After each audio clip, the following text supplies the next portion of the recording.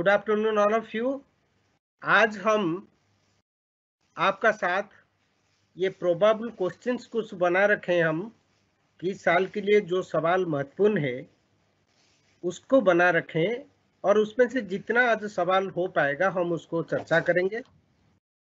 मैं एक एक सवाल पहले पढ़ लेता हूँ और उसकी बाद फिर उसका हिंदी में आपको बता दूँगा क्योंकि हिंदी में लिखा गया नहीं है। टाइपिंग इंग्लिश में हुआ है, लेकिन मैं उसको हिंदी में आपको बता दूँगा। और बाकी जब भी हम बीच में ब्रेक लेंगे, इसको आप ध्यान से देख लीजिएगा, लिख लीजिएगा, और उसका हिंदी तो जैसे मैं बताता जाऊँगा, आप नोट कर लीजिएगा। जब भी कहीं पर भी कुछ भी प्रॉब्लम है, आप मुझे चार्ट बॉक्स में आप लिख सकते हैं, आप पूछ सकते हैं तो उसका ध्यान दिया जाएगा। पहला क्वेश्चन जो है, वो है define politics. Critically examine the power view of politics राजनीति को परिभाषित कीजिए। यानी राजनीति क्या है उसको बताना होगा। और दूसरी पार्ट जो सवाल का, वो है,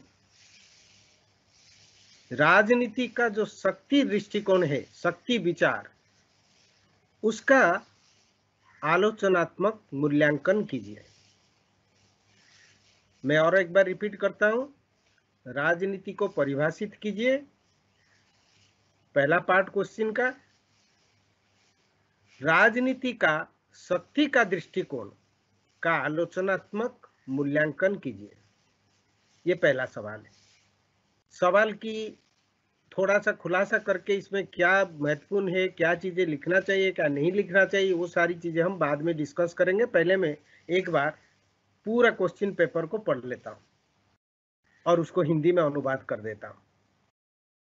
सेकंड क्वेश्चन है discuss the elements of liberalism what according to you are its major challenges उदारवाद की जो मुख्य विशेषताएँ उसका चर्चा कीजिए। उदारवाद का मुख्य विशेषताओं का चर्चा कीजिए। द्वितीय पार्ट जो सवाल का है, आपके अनुसार इसका सामने जो मुख्य चुनौती क्या है? और एक बार मैं रिपीट करता हूँ। उदारवाद की मुख्य विशेषता का विवेचन कीजिए या चर्चा कीजिए। आपके अनुसार इसका सामने क्या मुख्य चुनौती है? यानी उसके सामने जो मुख्य चुनौतियाँ है, उसके बारे में आपको चर्चा करना पड़ेगा। तीसरा क्वेश्चन है describe in detail feminist perspective in political theory राजनीति सिद्धांत में नारीवादी परिप्रेक्ष्य का विस्तृत रूप में विवेचन।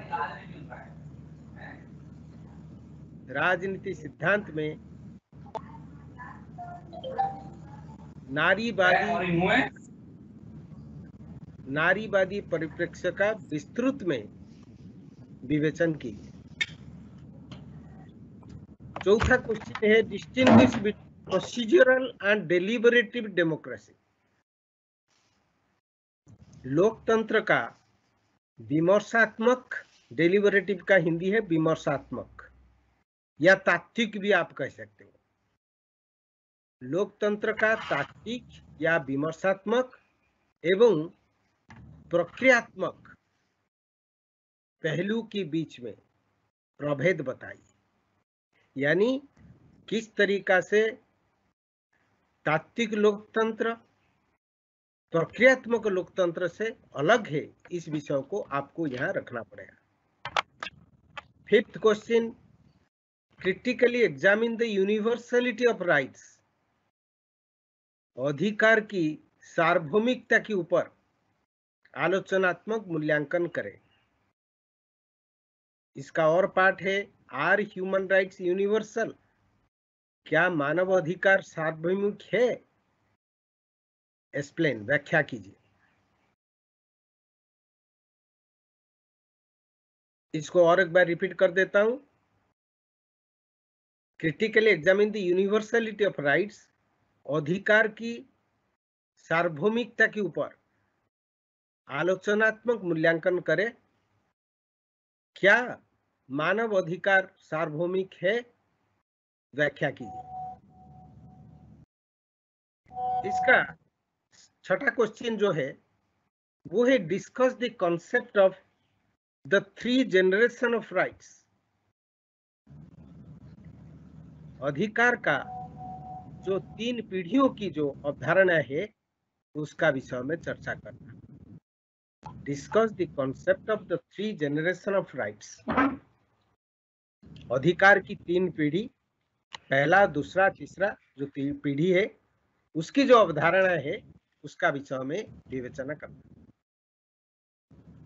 सातवा क्वेश्चन है critically examine Rawls theory of justice Rawls की द्वारा न्याय की सिद्धांत का आलोचनात्मक मूल्यांकन कीजिए। मूल्यांकन भी कह सकते हैं, परीक्षण भी कर सकते हैं। Critically examine Rawls theory of justice Rawls की द्वारा दिया गया न्याय के ऊपर सिद्धांत का आलोचनात्मक परीक्षण कीजिए। Eight question discuss Rawls theory of global justice Rawls का एक थ्योरी ऑफ़ जस्टिस जो 1971 में जो किताब उन्होंने लिखे थे, जो सिद्धांत दिए थे, वो है, उसका अलावा रॉल्स का एक वैश्विक न्याय के ऊपर भी एक सिद्धांत है, उसका ऊपर भी क्वेश्चन इस बार बहुत इंपॉर्टेंट है। 1999 में लॉ ऑफ़ पीपुल्स करके एक किताब रॉल्स लिखे थे, और वहाँ पर ये थ्योरी दिया गया था, इसको कहते हैं थ्योरी ऑफ़ ग्लोबल जस्टिस। तो रॉल्स की द्वारा दिया गया वैश्विक न्याय की सिद्धांत का विवेचन कीजिए या चर्चा कीजिए। Ninth question, critically examine Isaiah Berlin negative view of liberty. स्वतंत्रता का जो नकारात्मक दृष्टिकोण इस बर्लिन के द्वारा दिया गया है,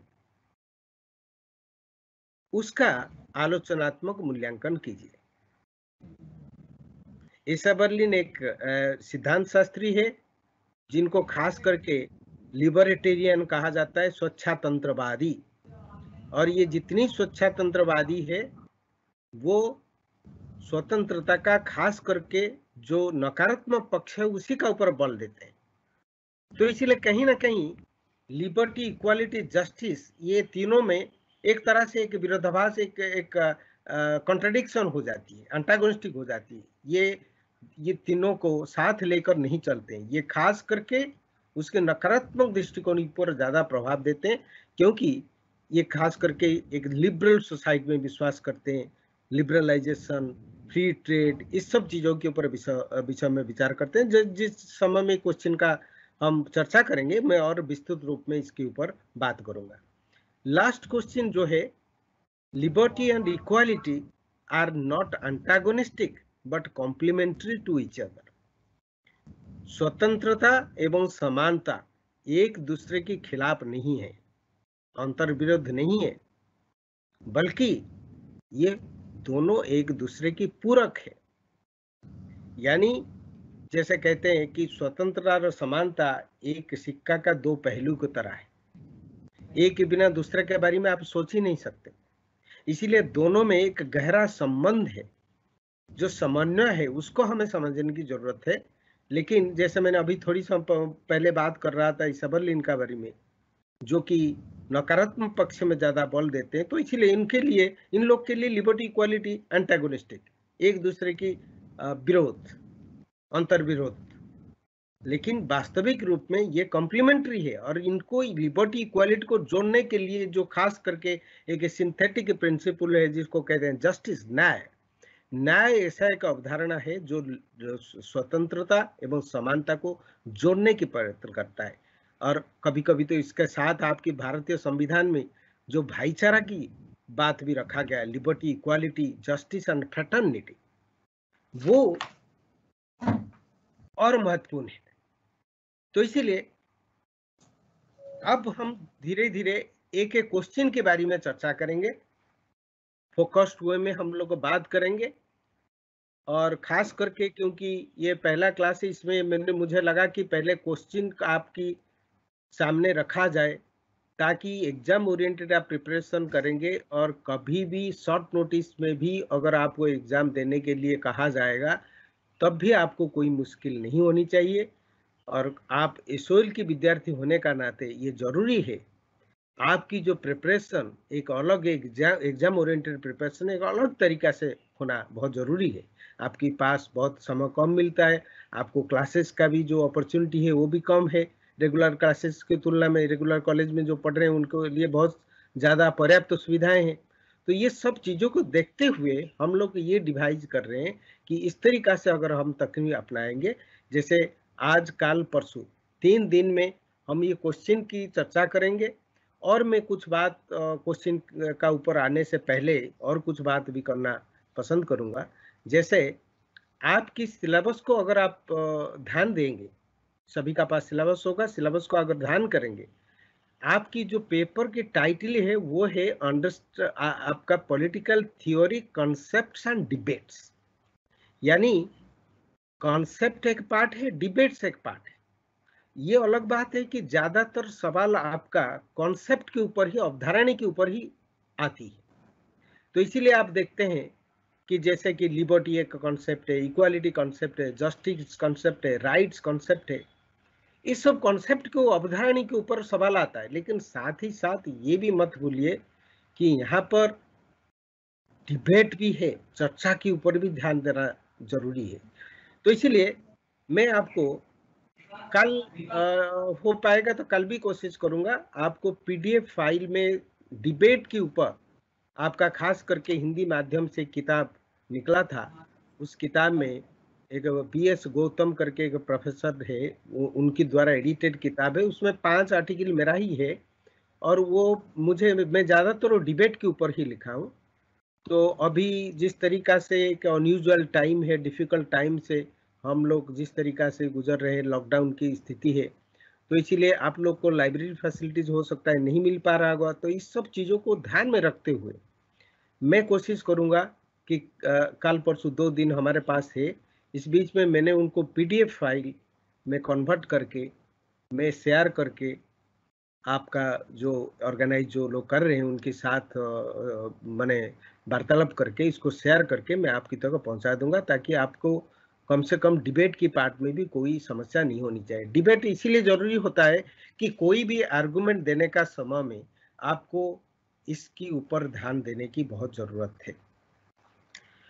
अब देखिए जो पहला क्वेश्चन हम अब उठाएँगे डिफाइन पॉलिटिक्स राजनीति को परिभाषित करना है। राजनीति क्या है? और दूसरा पार्ट है critically examine the power view of politics यानी राजनीति का शक्ति विचार का आलोचनात्मक परीक्षण या मूल्यांकन करें। इसमें जो पहला पाठ है, राजनीति क्या है? इसके बारे में आप देखते हैं कि पारंपरिक रूप में इसको अलग अलग स्टेजेस में अलग अलग तरीका से परिभाषित किया गया। किसी ने कहा कि ये स्टेट का साइंस है गवर्नमेंट का साइंस है। Science of state science of government यानी सरकार को राज्य के साथ जोड़ के राजनीति को देखा गया। लेकिन ये बात संपूर्ण रूप में इसीलिए सच नहीं हो सकता है और इसीलिए इसको गलत माना गया। आधुनिक दृष्टिकोण में राजनीति को आप सिर्फ़ राज्य एवं सरकार या सरकार की कोई भी एक संस्था तक तो आप उसको जोड़ नहीं सकते। ये अलग बात है कि राज्य का एक महत्वपूर्ण भूमिका है। सरकार भी मुख्य है राजनीति में, बहुत इंपॉर्टेंट है, लेकिन ये सब कुछ नहीं है। और इसी तरह से हम ये भी दिखाएँगे कि शक्ति भी राजनीति में एक बहुत महत्वपूर्ण भाग है। उसको छोड़कर हम राजनीति का अध्ययन नहीं कर सकते। लेकिन राजनीति शक्ति तक सीमित नहीं है शक्ति से बहुत आगे तो इसलिए पहले बात को मैं खंडन करता हूँ, जो मैं जैसे आपको बोल रहा था कि किस प्रकार राज्य व सरकार के साथ अगर राजनीति को जोड़ा जाता है, जबकि ये दोनों बहुत इंपॉर्टेंट कॉन्सेप्ट है राजनीति में, लेकिन ये सब कुछ नहीं है, ये बात प्रमाण करने के लिए मैं आपको एक छोटा सा उदाहरण दे रहा हूँ। अगर राज्य कहने से हम आधुनिक समय में अगर राज्य की बात करते हैं तो जब तक पॉपुलेशन गवर्नमेंट सॉवरेंटी भूभाग ये जो चार चीज़ें जुड़ नहीं जाती है, तब राज्य नहीं बनती है। और इस हिसाब से अगर आप देखेंगे तो भारत को 1947 से पहले राज्य आप कह ही नहीं सकते, क्योंकि भारत के पास प्रभुसत्ता नहीं था। तो फिर क्या हम ये कहेंगे कि भारत स्वतंत्र होने से पहले कोई, यहाँ कोई राजनीति नहीं था नहीं था। ये कह नहीं सकते। क्योंकि हमें तो पता है महाभारत की समाज से राजनीति राजनीति बहुत पुराना है। तो इसीलिए राज्य एवं सरकार के साथ राजनीति को जोड़ के देखना एक बहुत बड़ा गलती होगी। और इसीलिए आप देखते हैं कि राजनीति को किस तरीका से आधुनिक दृष्टिकोण में एक प्रक्रिया मानते हैं। ये एक प्रक्रिया है। ये ऐसा के प्रक्रिया है जहाँ पर दो या दो से बड़े बड़े गुटों के बीच में कुछ सार्वजनिक मुद्दा को लेकर कोई समस्या उत्पन्न होती है, कोई संघर्ष होती है और उसके बाद उसके बाद फिर देखते, आप देखते हैं एक तीसरी पार्टी यानी राज्य सरकार कोई भी हो सकता है या ऐसे कोई भी संस्था हो सकता है, जब राज्य नहीं था और भी कोई संस्था हो सकता है, एक ट्राइबल लीडर भी हो सकता है जिसके माध्यम से ये समस्या का समाधान करने की कोशिश की जाती है। और ये जो पूरी बातों को, पूरी प्रक्रिया को कहा जाता है राजनीति। तो ऑब्वियसली ये राजनीति जो प्रक्रिया है तो उसमें आप देखेंगे कि क्या क्या एलिमेंट्स है क्या क्या फीचर्स है। कौन सा कौन सा चीज़ें होना ज़रूरी है? क्योंकि जब राजनीति को आप परिभाषित करेंगे, खाली एक पारा लिख के आप इस चीज़ों को जवाब नहीं दे सकते। इसमें आप कुछ पॉइंट बनाएँगे। तो इसीलिए मैंने जैसे पहले बोला कि अगर कुछ संघर्ष नहीं है तो राजनीति नहीं होगी। तो इसका मतलब है, कुछ चीज़ों को लेकर अगर संघर्ष उत्पन्न होती है, वो संघर्ष उत्पन्न होने का बाद ही राजनीति की शुरुआत होती है। आप सभी जानते हैं, समाज में कई तरह के लोग हैं, कई तरह के ग्रुप्स है, और उनके बीच में कई चीज़ों को लेकर आवश्यकता को लेकर, जैसे अपनी नीड्स को लेकर, ज़रूरत को लेकर कई तरह की तनाव की स्थिति उत्पन्न होती है। जैसे अगर दिल्ली का बात रखा जाए तो दिल्ली में ट्रांसपोर्ट सर्विसेज़ सभी को चाहिए हेल्थ सर्विसेज़ सभी को चाहिए स्कूल कॉलेजेस सभी को चाहिए, हर जगह में चाहिए। तो ये सब चीज़ों को लेकर संघर्ष उत्पन्न होता है, और जब संघर्ष उत्पन्न होता है तो फिर राजनीति की शुरुआत हो जाती है। पहला जो चीज़ें है वो है संघर्ष हो रहा है। और भी व्यक्तिगत तो संघर्ष नहीं दो व्यक्ति का उसको राजनीति नहीं कहा जाए आप संघर्ष की बात करेंगे तो इसीलिए कहा गया दो या दो से ज़्यादा बड़े जो ग्रुप को लेकर जब संघर्ष उत्पन्न होते तभी जाकर राजनीति उत्पन्न होती है। प्लीज़ रिमेम्बर इसका बाद हम ये कह रहे हैं ये संघर्ष किस चीज़ को लेकर है? सार्वजनिक मुद्दा को लेकर कोई व्यक्तिगत तो मुद्दा को लेकर उसको संघर्ष नहीं किया जाए। उसको राजनीति में हम संघर्ष के नाम दे दे सकते वो संघर्ष व्यक्तिगत स्तर पर है। वाइफ हस्बैंड के बीच में, परिवार में बाप बेटे के बीच में बाप बेटी के बीच में कई चीज़ों को लेकर कई मतांतर हो सकती है। लेकिन जब तक वो घर की सीमा के अंदर है, चार दीवार के अंदर है तो उसको हम राजनीति का हिस्सा नहीं मानेंगे। हाँ यह अलग बात है कि वही चीज़ें अगर घर के बाहर चला गया, अगर ये सोच लीजिए कि अगर पिता माता के बीच में किसी चीज़ को झगड़ा हो गया और उसमें मारपीट तक बात चला गया और वो बात अगर वाइफ जाके के पिटिशन दे दिए कोर्ट में कि ये पुरुष होने का नाते मेरा शोषण करता है, मेरा ऊपर अत्याचार करता है तो ये पब्लिक डोमेन में आ गया वो फिर हो जाएगा सार्वजनिक मुद्दा। क्योंकि समाज में दो बड़े बड़े हिस्सा के बीच में पुरुष वर्सेस महिलाएँ के बीच में एक संघर्ष की बात आएगी और उसमें सरकार को कुछ कदम उठाना पड़ेगा, क्योंकि ये पब्लिक डोमेन है। तो इसीलिए मुद्दा सार्वजनिक होना भी बहुत ज़रूरी है। तीसरी चीज़ें बहुत जो इंपॉर्टेंट है, वो है जो समाज में जो ही चीज़ें है, जिसको लेकर संघर्ष उत्पन्न होती है, वो वैल्यूबल कमोडिटीज है, सर्विसेज़ यानी वो फ्री में नहीं मिलती है। फ्री में अगर कोई चीज़ें मिलता है, उसका ऊपर कोई झंझट होगा ही नहीं, कोई तकलीफ़ होगा ही नहीं। तो इसीलिए जो चीज़ें मूल्यवान और जिनकी सप्लाई कम है, लेकिन उस हिसाब से उनकी ज़रूरत ज़्यादा है, उसकी मांग ज़्यादा है, तभी जाके कॉन्फ्लिक्ट तभी जाके समस्या उत्पन्न होती है, झगड़ा होता है। तो इसीलिए वैल्यूबल होना बहुत ज़रूरी है। और ये भी ज़रूरी है कि लोग जो है उनकी स्वाभाविक रीति में उनका आवश्यकता है। अगर कोई संत है, उनको किसी तरह के वो आवश्यकता से ऊपर उठ जाता है, फिर तो वहाँ ये चीज़ें काम नहीं करेगा।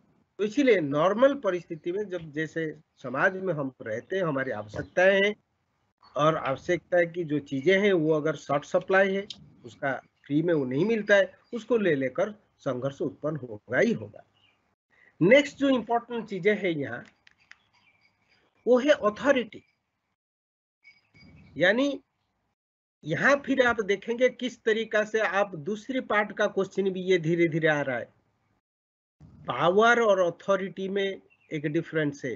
पावर का मतलब जैसे ए का बी का ऊपर कोई शक्ति है, यानी बी को ए अपनी तरीका से प्रभावित कर सकता है और उसको अपनी हित की पूर्ति के लिए उसका व्यवहार कर सकता है। तो इसलिए हम कहते हैं A has power over B इसका मतलब ए का बी का ऊपर शक्ति है। इसका मतलब ये है कि वो उसको प्रभावित कर सकता है, उसका ऊपर उसका बहुत ज़्यादा प्रभाव है और अपनी स्वार्थ की पूर्ति के लिए उसको काम में लगा सकता है। इसको हम पावर सेंस में कहते हैं। पावर में कहीं ना कहीं एक बल, वो किसी तरह की, वो एक फ़िज़िकल सेंस में भी लिया जा सकता है, एक लीगल सेंस में लिया सकता है, लेकिन बल प्रयोग की बात भी यहाँ पर कहीं ना कहीं आती है।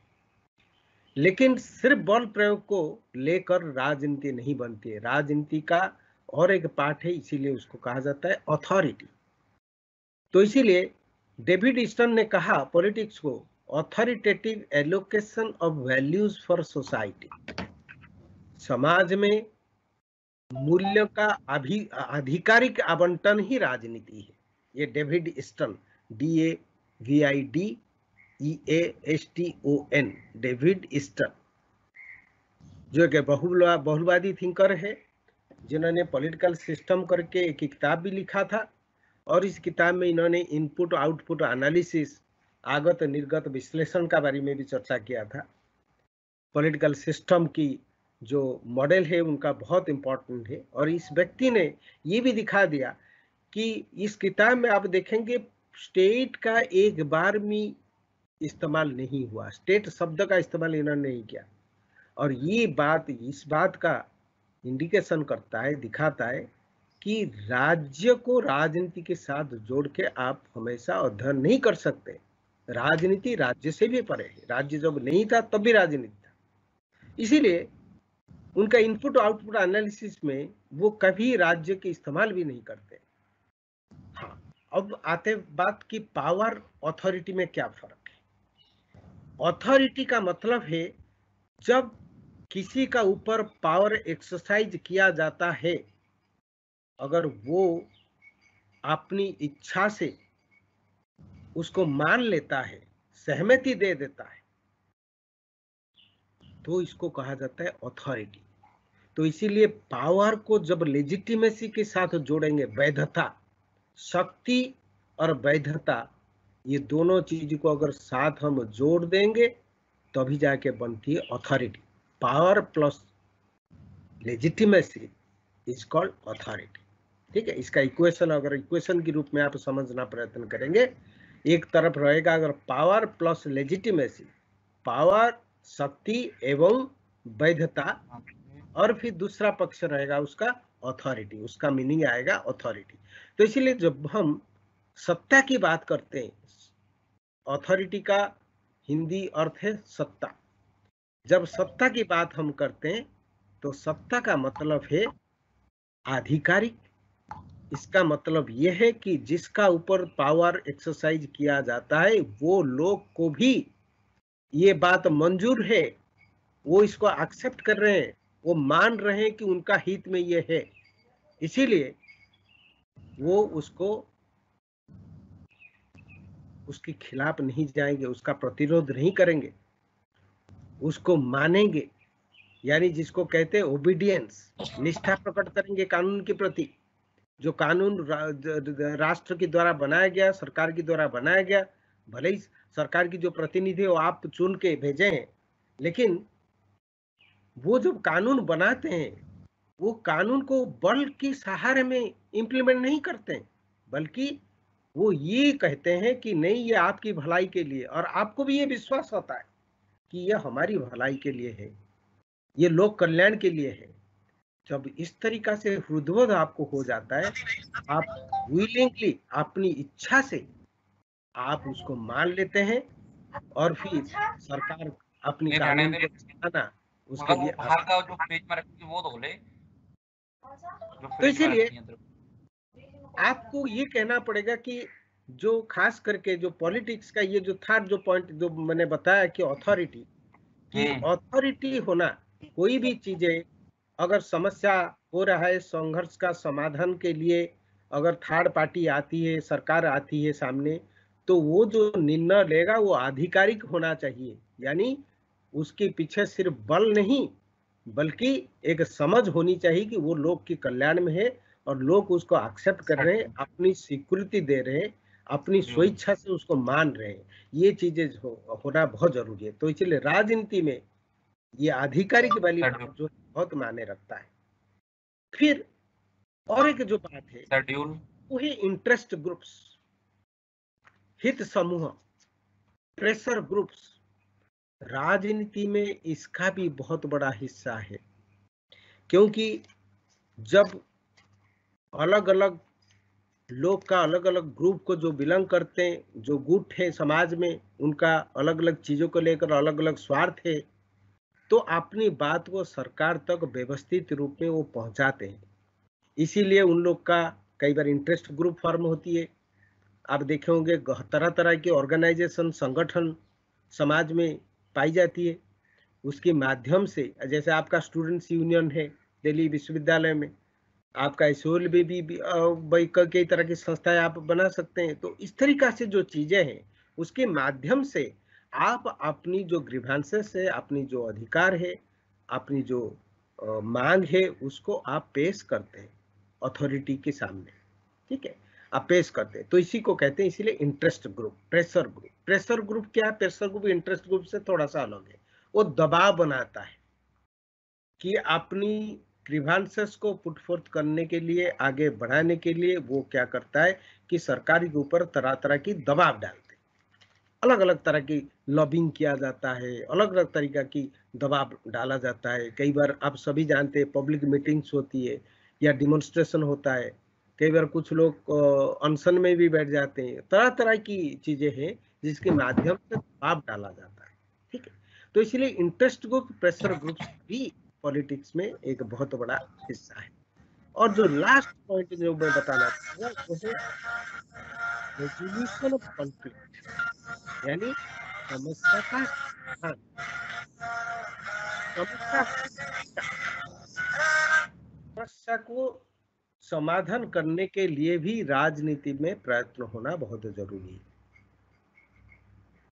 और लेकिन इस बात में मार्क्सवादी दृष्टिकोण, उदारवादी दृष्टिकोण दोनों अलग अलग मत रखते तो लिए इसके ऊपर जब आप बात करेंगे, आप ये जो लास्ट पॉइंट का बात करने का समय में आपको थोड़ा सा मार्क्सवादी दृष्टिकोण, उदारवादी दृष्टिकोण में थोड़ा सा अंतर दिखा, दिखाना पड़ेगा, क्योंकि कॉन्फ्लिक्ट को रिज़र्व होने को लेकर कॉन्फ्लिक्ट को यानी संघर्ष को समाप्त करने का दिशा में ये दोनों जो दृष्टिकोण है, ये संपूर्ण रूप से एक दूसरे से अलग है। उदारवादी का कहना है, संघर्ष रहेगा, समस्याएँ रहेगा, समस्या और संघर्ष अपना आप के कोई गलत बात नहीं है, वो स्वाभाविक है, रहेगा, लेकिन उसका समाधान भी होगा।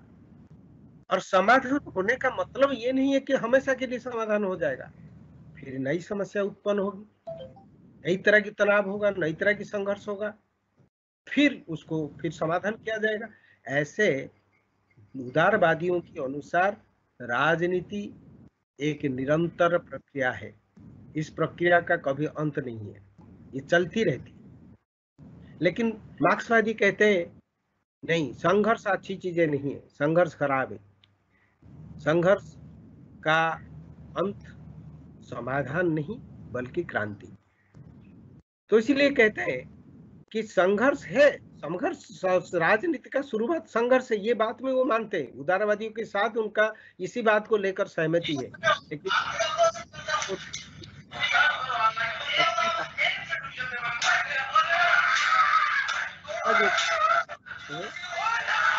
क्या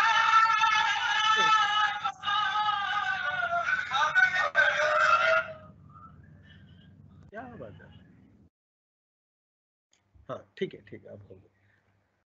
यस तो कुछ बैकग्राउंड नॉइज़ बहुत आ रहा था तो इसलिए मुझे, मैं रुक गया, क्योंकि मुझे लगा कि आप लोग को सुनाई देगा हाँ। स्टूडेंट सभी आपकी माइक को म्यूट कर दीजिएगा, क्योंकि आपकी बैकग्राउंड आवाज़ इतना आता है तो कई बार फिर मैं अपना आप को सुन नहीं पाता हूँ। इसलिए मेरे लिए मुश्किल हो जाती है। तो आवाज़ को आप बंद करो, आप जब तक म्यूट नहीं करोगे तो डिस्टर्बेंस बैकग्राउंड का जो डिस्टर्बेंस मुझे बिल्कुल सुनाई देगा और आप तो डिस्टर्ब होंगे ही। तो इसीलिए फिर हम सही तरह से बात को डिस्कस नहीं कर पाएँगे। हाँ तो मार्क्सवादियों के दृष्टिकोण की बात मैं कर रहा था। मार्क्सवादियों के अनुसार संघर्ष का परिणाम क्रांति है। और वो ऑब्वियसली वो कहते हैं इतिहास में हर समय में जो भी क्लास सोसाइटी है, वर्ग पर आधारित जो भी समाज है, सभी में दो ही मुख्य रूप से दो ही वर्ग के बीच में एक संघर्ष होता है। एक जो उत्पादन के साधन के ऊपर कब्जा कर बैठता है और एक जो उसका साधन का मालिक नहीं है। वो जो साधनहीन है, ये दोनों के बीच में हमें संघर्ष होती है और हर संघर्ष का परिणाम क्रांति होती है। तो इसीलिए एक सोसाइटी, जैसे आप देखते हैं, फ्यूरल सोसाइटी या स्लेब सोसाइटी, फ्यूरल सोसाइटी हो जाता है क्रांति का बाद।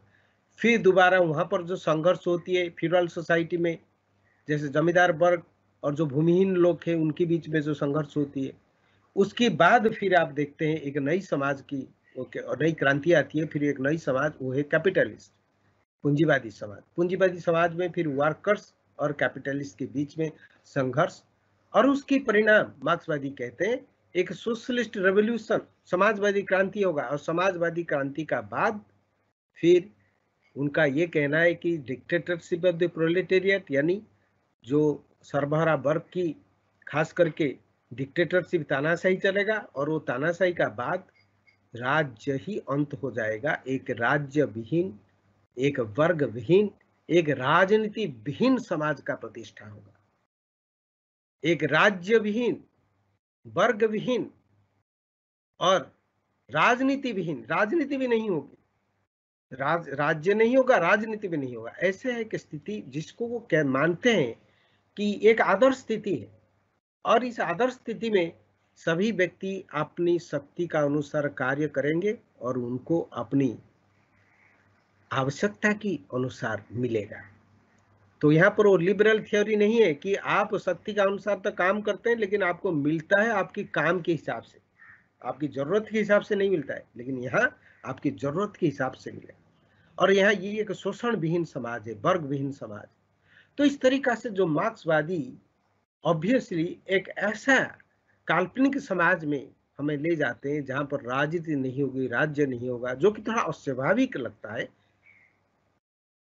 तो इसी बात को आप समाप्त करने का बाद फिर आप जो पावर व्यू का ऊपर थोड़ा सा आप लिख के कि पावर एक बहुत इंपॉर्टेंट एस्पेक्ट राजनीति में है लेकिन वो सब कुछ नहीं है। पावर के अलावा भी और बहुत सारी चीज़ें राजनीति में, जैसे सत्ता की अधिकारी बारी में, सत्ता की बारी में हमने बात किया अथॉरिटी आधिकारिक।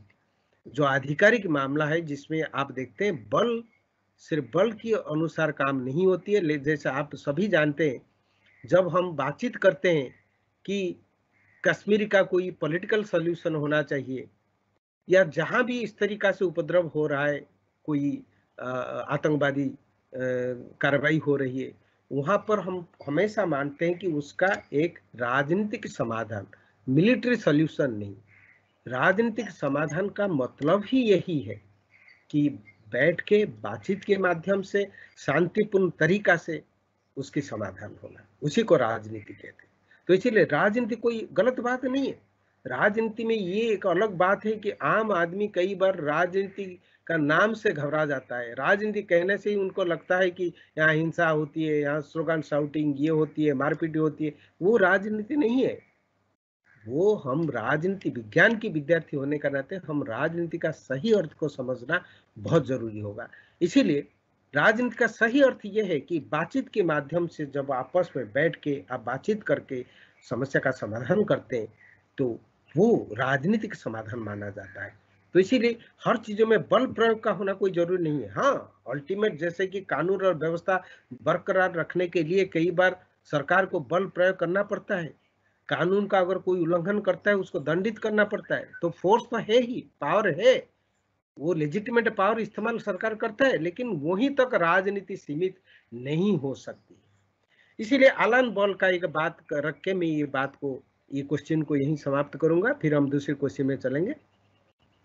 आलन बॉल एक अमेरिकन पॉलिटिकल साइंटिस्ट एक बात रखते हैं राजनीति का बारे में। वो कहते हैं, एक उदाहरण देते हैं कि दो बच्चों के बीच में अगर नर्सरी में झगड़ा हो जाती है, एक खिलौना को लेकर, और दोनों में मारपीट हो गया, और एक का माँ या बाप अगर सामने आके उनको लड़ाई को अगर संभाल लेता है, सॉल्व कर देता है तो वो एक राजनीतिक परिस्थिति है। लेकिन ये गलत है, क्योंकि अभी अभी जो बातों के बारे में हम चर्चा किए इसको अगर आप देखेंगे कि राजनीति में हिंसा का कोई सवाल नहीं उठता है। जहाँ हिंसा होती है, वहाँ राजनीति समाप्त हो जाती है। राजनीति का मतलब शांतिपूर्ण रूप में बातचीत के माध्यम से आपस में लेन देन तरीका से आप अपनी बात को रखते, दूसरे पक्ष अपनी बात को रखता है, फिर एक सोल्यूशन पे आप लोग पहुँचते उसको कहते हैं राजनीति। यहाँ पर आप देखते हैं कि दोनों के बीच में मारपीट हो गया, वो हिंसा हो गया तो वो कहा होगा? फिर खिलौना, एक एक प्राइवेट चीज़ों के लिए, व्यक्तिगत लड़ाई है, एक छोटी सी चीज़ों के लिए। हम ऑब्वियसली हम राजनीति में ये बात चर्चा किए थे कि सार्वजनिक मुद्दा के ऊपर लड़ाई। वो राजनीतिक समस्या उत्पन्न होती है। पॉलिटिकल सिचुएशन उसको हम कहेंगे। और ये तो कोई सार्वजनिक मुद्दा को लेकर है ही नहीं। दो खिलौने के बीच में और दो छोटे छोटे बच्चों के बीच में। ये दो व्यक्तियों के बीच में होगा तभी नहीं होगा। तो इसीलिए अगर ये सवाल आता है तो इस प्रकार अगर आप आंसर करेंगे तो आपको अच्छा मार्क्स मिलेगा।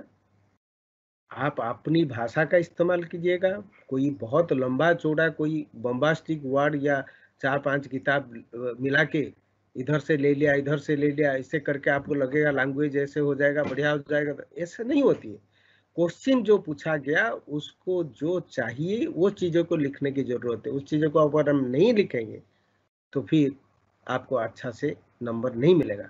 अब आते हैं question number two discuss the elements of liberalism उदारवाद लिबरलिज्म मतलब उदारवाद। उदारवाद की जो मुख्य जो तत्व है एलिमेंट्स मैंने तत्व। उदारवाद की मुख्य तत्व या प्रमुख तत्वों का चर्चा कीजिए। उसके बाद वाला है what according to you are its major challenges आपकी अनुसार इसके सामने मुख्य चुनौतियाँ क्या है? अब देखते हैं। लिबरलिज्म का पहला बात तो यह कि जो मुख्य तत्व क्या है? देखो, लिबरलिज्म का जो मुख्य तत्व है, वो है आप सभी को ये बात को ध्यान रखने की ज़रूरत है, वो है इंडिविजुअल व्यक्ति। उदारवाद हमेशा व्यक्ति का ऊपर ही ज़्यादा फोकस करता है। और व्यक्ति का जो स्वतंत्रता, आज़ादी, उसके ऊपर बहुत ज़्यादा फोकस करते हैं। राज्य की संकल्पना है, लेकिन राज्य, कानून और व्यवस्था बरकरार रखने के लिए, व्यक्ति के जो कल्याण करने के लिए ही राज्य के साधन मात्र है। लेकिन लिबरलिज्म के अनुसार, उदारवादी के अनुसार, व्यक्ति ही साध्य है, राज्य साधन मात्र है। राज्य साध्य नहीं हो सकता है। राज्य सिर्फ़ एक साधन है, एक मैकेनिज्म है। व्यक्ति साध्य है व्यक्ति का कल्याण के लिए ही राज्य बनाया गया है। इसलिए व्यक्ति की जो आज़ादी, व्यक्ति की स्वतंत्रता, उसको रक्षा करना राज्य के कर्तव्य है। तो इसीलिए अधिकार और कर्तव्य की बात यहाँ पर आ जाती है। हालाँकि ये बात अलग है कि अधिकार के साथ साथ आपकी कर्तव्य भी होता है। हालाँकि लिबरलिज्म कर्तव्य को पूरी तरह से नकारता नहीं है। वो कहता है कि अधिकार के साथ साथ कर्तव्य भी होना ज़रूरी है, क्योंकि आपकी अधिकार किसी और की कर्तव्य है। और इसी तरह से कोई और अगर कर्तव्य करेगा, तभी आप अधिकार आप एंजॉय कर पाओगे। और आप कर्तव्य करोगे तो उसका अधिकार को एंजॉय कर पाएगा। तो यही वजह है कि उदारवाद, अधिकार, कर्तव्य दोनों चीज़ को मानता है, लेकिन कहीं ना कहीं आप देखेंगे, जो इंडिविजुअल लिबर्टी व्यक्ति की स्वतंत्रता को लेकर उदारवाद इतनी ज़्यादा महत्व देता है कि वो खास करके व्यक्ति का कुछ प्रमुख अधिकार को लेकर इतनी ज़्यादा खास करके बहुत प्रोटेक्टिव हो जाते हैं। इतना संरक्षण भाव रखते हैं मन में तो कई बार वो राज्य को बहुत कमज़ोर कर देते हैं, एक सीमित राज्य में विश्वास करते हैं। तो इसलिए ये एक और एलिमेंट्स आ गया। एक तो व्यक्ति का स्वतंत्रता, आज़ादी। व्यक्ति का और उसमें खास करके जो उदारवादी समाज आप देखते हैं, जो ग्लोबलाइजिंग सोसाइटी में, इसमें खास करके ये कहा जाता है फ्रीडम ऑफ़ कॉन्ट्रैक्ट यानी आपको कॉन्ट्रैक्ट में एंटर जब कर रहे हैं, उसमें आपकी फ्रीडम होना बहुत ज़रूरी है। जो कॉन्ट्रैक्चुअल ऑब्लिगेशन उसको बहुत महत्व यहाँ दिया जाता है। लेकिन, जब ये खास करके आप उदारवाद का कई, आप देखेंगे, जब एलिमेंट्स के बारे में बात करेंगे कि उदारवाद एक दिन में उसका विकास नहीं हुआ है। ये बहुत बड़ा, लंबी इतिहास है उदारवाद के पीछे। उदारवाद के पीछे जो लंबी इतिहास है, आप देखेंगे जो क्लासिकल लिबरलिज्म है, यानी जिसको कहा जाता है शास्त्रीय उदारवाद। शास्त्रीय उदारवाद जो कि आडम स्मिथ जो इकोनॉमिक्स थे वेल्थ ऑफ़ नेशन जिन्होंने लिखे थे, उन समय से लेकर आप देखेंगे जॉन लॉक जो उदारवाद का जनक माना जाता है।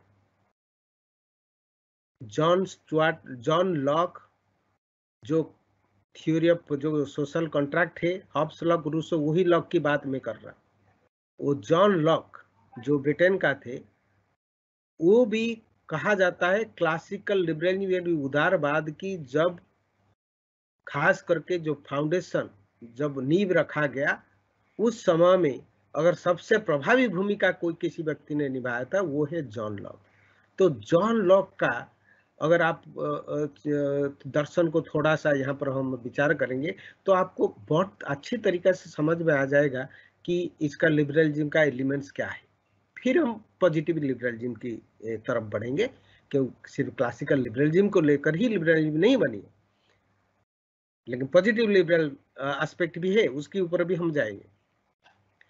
तो पहले जॉन लॉक कहते हैं बात, कहते हैं नेचुरल राइट्स व्यक्ति का प्राकृतिक अधिकार के बारे में वो बात करते हैं और कहते हैं, व्यक्ति का तीन प्राकृतिक अधिकार है। प्राकृतिक अधिकार क्यों? क्योंकि यह अधिकार को प्रकृति ने व्यक्ति को दिया है और यह जन्म से व्यक्ति का साथ यह अधिकार जुड़ा हुआ है। यह अधिकार क्या है? जीवन के अधिकार, स्वतंत्र के अधिकार, संपत्ति का अधिकार। ये जो तीन मौलिक अधिकार है व्यक्ति का ये प्राकृतिक अधिकार इसीलिए है क्योंकि जन्म से प्रकृति ने आपको यह अधिकार दिया है। ये अधिकार के बिना आप व्यक्ति ही नहीं बन पाएँगे। इसीलिए ये आपके लिए मौलिक है। और ये अधिकार क्योंकि प्रकृति ने आपको दिया है तो इसीलिए आप ये अधिकार को कोई मानवीय संस्था उसको छीन नहीं सकता है। इसीलिए राज्य ये अधिकार को रक्षा करने के लिए ही राज्य की उत्पत्ति होती है। राज्य को, अगर किसी अधिकार को हनन कर रहा है तो व्यक्ति को यह अधिकार रहता है कि राज्य के खिलाफ वो क्रांति कर सके। राज्य के खिलाफ भी उसको अधिकार प्राप्त होती है। तो इसीलिए एक सीमित राज्य की कल्पना करते हैं, जॉन लॉक जहाँ पर आप देखते हैं कि जो आडम स्मिथ ने वर्ल्थ ऑफ़ नेशंस में जिस तरीका से जो बात को रखा था, जिसको कहा जाता है laissez faire, let the individual be free यानी व्यक्ति को खुला छोड़ दो। That state is the best which governs the least वो राज्य सबसे अच्छा है जो कम से कम शक्ति रखता है, जो बहुत ज़्यादा प्रभावी नहीं है। तो इसीलिए लिबरलिज्म का ये नींव है, ये मूल मंत्र है, ये मूल तत्व है कि कानून और व्यवस्था बरकरार रखने की बजाय रखने के बाद राज्य को और किसी तरह से हस्तक्षेप नहीं करना चाहिए। और हस्तक्षेप नीति अपनाने की ज़रूरत है। और खास करके आर्थिक मामला में व्यक्ति को खुला, पूरी तरह से आज़ाद कर देना चाहिए। क्योंकि इसका लिबरलिज्म का ये भी एक मुख्य तत्व है कि व्यक्ति का विवेक में वो विश्वास करते हैं। वो कहते हैं, व्यक्ति एक विवेकशील प्राणी है। व्यक्ति का अंदर राशनलिटी है। व्यक्ति जानता है उसका, उसके लिए अच्छा क्या है, बुरा क्या है। और इसीलिए उसकी कार्य में किसी तरह की कोई दखला अंदाजी नहीं होनी चाहिए, हस्तक्षेप नहीं होनी चाहिए। व्यक्ति खुद जानता है अपना भलाई क्या है। तो इसीलिए राज्य सिर्फ़ नकारात्मक, यानी एक मिनिमल स्टेट होना चाहिए, जो खास करके ज़रूरत पड़ जाता है कई बार कानून व्यवस्था बरकरार रखने के लिए, और समाज में ये ये स्थिति बहुत ज़रूरी हो जाती है, नहीं तो ट्रेड हो हो नहीं सकेगा। कई तरह की जो काम हम करते हैं, वो सब हम नहीं कर सकते, अपनी ज़िंदगी ठीक तरह से जी नहीं पाएँगे। इसीलिए हमें एक राज्य की ज़रूरत है कानून व्यवस्था बरकरार रखने के लिए। वही सारी जितना मिनिमम नेगेटिव जो कार्य है, नकारात्मक कार्य है, वही करने का बाद व्यक्ति को पूरी तरह से खुला छोड़ देना चाहिए। तो इसीलिए ये जो खास करके इस तरह की जो बातें हुआ ये आप देखते हैं कि क्लासिकल लिबरल यानी क्लासिकल लिबरलिज्म यानी जो शास्त्रीय उदारवाद की जो स्टेज था उसी समय में। लेकिन उसका बाद आप देखते हैं, जैसे जैसे ट्वेंटी सेंचुरी आया ट्वेंटी सेंचुरी के साथ साथ आप देखते हैं कि पॉजिटिव लिबरलिज्म यानी सकारात्मक उदारवाद की शुरुआत हुई। ये देखा गया कि समाज में अगर इसी तरीका से फ्री कंपटीशन होगा, क्योंकि लिबरलिज्म कंपटीशन के ऊपर बहुत ज़्यादा वो भी मार्केट सोसाइटी के ऊपर ज़्यादा विश्वास रखते हैं, वो भी उनका एक मुख्य एलिमेंट्स है तो ऑब्वियसली इसमें जो साधन संपन्न है, वो तो आगे निकल जाएगा, लेकिन जो कमज़ोर है, वो पीछे रह जाएगा। और उसके लिए शोषण उसका होना स्वाभाविक हो जाती है, और वो इतनी कमज़ोर हो जाता है कि कोई भी उसके ऊपर कब्जा करके, उसको इस्तेमाल करके अपना स्वार्थ की पूर्ति करता है, और कुछ लोग का जो स्वतंत्रता और कुछ लोग के लिए दासता रूप ले लेता है। कुछ लोग दास की जीवन बिताते हैं, इस तरह की स्थिति आ जाती है। तो इसीलिए ट्वेंटी सेंचुरी में जब इसके बारे में बातचीत हुआ, सोचा गया तो धीरे धीरे सकारात्मक उतारवाद, यानी ये कहा गया कि राज्य को हस्तक्षेप करने की अधिकार है। राज्य कमज़ोर व्यक्ति को रक्षा करने के लिए, समाज के कल्याण के लिए ज़रूरत पड़ने पर हस्तक्षेप करेगा। अहस्तक्षेप नीति सही नहीं है।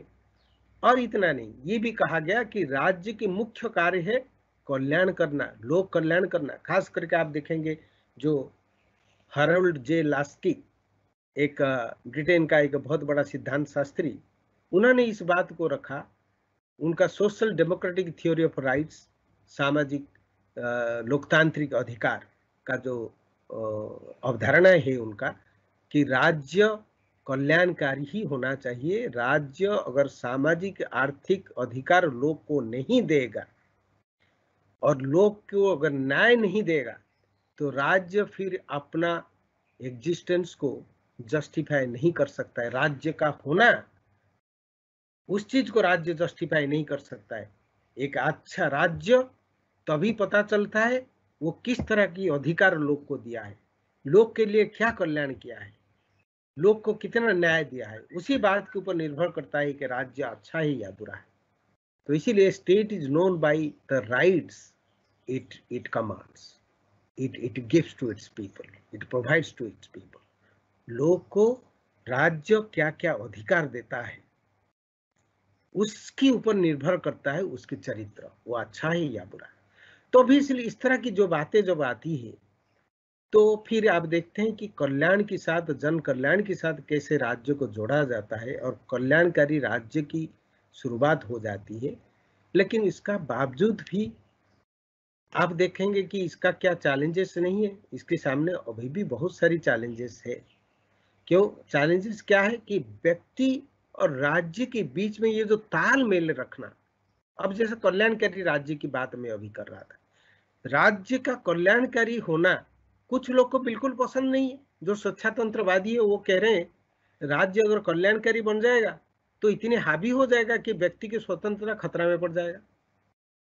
तो ऑब्वियसली फिर बात क्या होता है, इसका मुख्य चैलेंजेस जो लिबरल जी के सामने है, वो ये है कि व्यक्ति की आज़ादी, व्यक्ति की स्वतंत्रता और राज्य, इन दोनों में तालमेल रखना, कि समाज के स्वार्थ को कैसे पूर्ति किया जाएगा, लोक का कल्याण कैसे किया जाएगा कहीं ऐसा ना हो कि जब आप व्यक्ति की आज़ादी स्वतंत्रता के ऊपर फोकस देंगे तो कुछ लोग इतना हावी हो जाएँगे कि वो आपकी कल्याणकारी राज्य होने का बावजूद भी उनको सारी फ़ायदा मिलेगा और कुछ धनी जो है, धनी होता जाएगा, गरीब का परिस्थिति और खराब से खराब होता जाएगा। तो इसीलिए कल्याणकारी राज्य हो जाने का बावजूद भी कई तरह सारी समस्याएँ उत्पन्न होती है। नई नई तरीका, अब जो है शोषण करने का नई नई तरीका उत्पन्न हो रही है। और कल्याणकारी कार्य तो भी हो रही है, जैसे अभी आप देख रहे हैं कि आपका सरकार, राज्य सरकार, राज्य के स्तर पर, केंद्र के स्तर पर, केंद्र सरकार, आप देख रहे हैं कि कोरोना वायरस की ये जो कहर जो मचा हुआ है पूरी विश्व में, आप देख रहे हैं किस तरीका से वो लोग के लिए खास करके गरीब लोग के लिए खान पान की व्यवस्था कई तरह की व्यवस्था करने के लिए बहुत लोग आगे आ रहे हैं। सरकार भी बहुत कुछ कर रहा है। मैं यही नहीं कर रहा हूँ कि नहीं कर रहा लेकिन उसके बावजूद भी क्या सभी समस्या का समाधान हो पा रहा है? अभी भी आप देख रहे हैं कितने भयंकर न्यूज़ आपको आप सुने होंगे अभी कुछ दिन पहले कि माइग्रेंट लेबर चलते चलते आ, उनकी उनकी जान चली जाती है बीच में। और खाने के लिए लोग का पास अभी भी कुछ नहीं है। कुछ लोग ऐसे भी है जो भूखे रहते हैं। कुछ लोग ऐसे भी है जिनका नौकरी से उनको हटा दिया गया और उनको पता नहीं है कि कल क्या, कैसे वो परिवार को पालेंगे। तो इस तरीका से बहुत सारी चीज़ें है कि कल्याणकारी राज्य हो जाने का मतलब ये नहीं है कि सभी का समस्या का अंत हो जाएगा, क्योंकि ये जो अभी हमारी जो कल्याणकारी राज्य की प्रादुर्भाव हर जगह में देखने के लिए मिलता है, उसका उदय हर जगह में हो गया, उसका बावजूद भी आप देखते हैं, कई तरह से, कई प्रकार ऐसे ग्रुप है जो हावी हो जाते हैं और जो सर जितने भी जो सुविधाएँ हैं, वो आत्मसात कर लेते हैं और कुछ लोग हमेशा हसिया पे रहते हैं और उनकी स्वार्थ की पूर्ति नहीं होती है। उनको जो बेसिक मिनिमम जो अत्यावश्यक है ज़िंदगी के लिए, जीवन को जीने के लिए जो अत्यावश्यक चीज़ें वो भी उनको नहीं मिल पाती तो इसीलिए मार्क्सवादी इनका कड़ी आलोचना करते हैं वो कहते हैं कि जब तक आप मौलिक परिवर्तन समाज में नहीं लाएँगे और ये जो मौलिक विवाद है उसको आप अंत नहीं करेंगे व्यक्ति और समाज के बीच में व्यक्ति और राज्य के बीच में इसको द्वंद्व को आप जब तक समाप्त नहीं करेंगे तो तब तक आप कभी आ, कह नहीं पाएँगे कि एक आदर्श समाज की प्रतिष्ठा हो पाएगा। तो इसीलिए मार्क्सवाद आके बहुत सारी चीज़ें आप देखते हैं। उदारवाद की पोल खोल दिया उदारवाद की सीमाओं को दिखाया। हालाँकि उनकी योगदान के माध्यम से उदारवाद भी हमेशा कोशिश किया अपना आप को और ज़्यादा उत्कृष्ट बनाने के लिए। कई सारी चीज़ों को उन्होंने सुधारने की भी प्रयत्न किया। इसीलिए उदारवादी दृष्टिकोण में भी आप देखते हैं न्याय की संकल्पना आई है। जो रॉल्स का थ्योरी ऑफ़ जस्टिस जो बाद में क्वेश्चन है, जिसके बारे में चर्चा होगा बाद में तो उसका ऊपर भी, आप देखेंगे, वो भी एक उदारवादी सिद्धांत है। वो कोई मार्क्सवादी सिद्धांत नहीं है, लेकिन उन्होंने न्याय का, ये बात को लाने का, ये जो काम किया, जो बहुत बड़ा एक कंट्रीब्यूशन किया, वो इसीलिए हुआ क्योंकि मार्क्सवाद की तरफ़ से जो प्रतिवाद हुआ, जो चैलेंजेस को दिखाया गया, उदारवाद वो चैलेंज को टैकल करने के लिए भी अपनी थ्योरी को और ज़्यादा बेहतरीन बनाने की कोशिश कर रहे हैं। अभी भी वो कोशिश जारी है। इस क्वेश्चन के बाद हम थर्ड क्वेश्चन को लेंगे और थर्ड क्वेश्चन को लेने के लिए मैं 10 मिनट का आपको एक रेस्ट देता हूँ, ठीक है? 10 मिनट का ब्रेक हम ले लेते हैं, मैं भी ब्रेक ले लेता हूँ और आपके लिए भी ये ब्रेक हो जाएगा और उस समय में आप एक काम कीजिएगा कि जब आएँगे हम और एक दो क्वेश्चन करने की हम कोशिश करेंगे बिल्कुल और दो क्वेश्चन हो ही जाएगा। तो उस समय तक आप ये क्वेश्चन को पूरी तरह से ये स्क्रीन पे रहेगा, आप इसको लिख लीजिएगा। ये आप आप कॉपी में आप लिख लीजिएगा, इसका हिंदी भी आप लिख लीजिएगा और हिंदी को आप लिखने की समय में अगर कहीं भी कुछ डाउट है, आप मुझे ज़रूर पूछेंगे, मैं आपको ज़रूर बताऊँगा। क्योंकि हिंदी में मैंने एक बार बोल दिया था, लेकिन हो सकता है आपने ध्यान नहीं दिया होगा तो आप प्लीज़ इसको अभी एक बार आप लिख लीजिए ये जो ब्रेक का टाइम को आप इस्तेमाल कीजिए क्वेश्चन को लिख लीजिए और उसका हिंदी भी साथ साथ लिखते जाइए। अगर कहीं कुछ प्रॉब्लम है फिर आप मुझे पूछ सकते हैं। मैं अभी 10 मिनट का ब्रेक ले रहा हूँ। All of you are welcome now so let's know uh, start with the third question number तीन जो है वो है describe in detail the feminist perspective in political theory.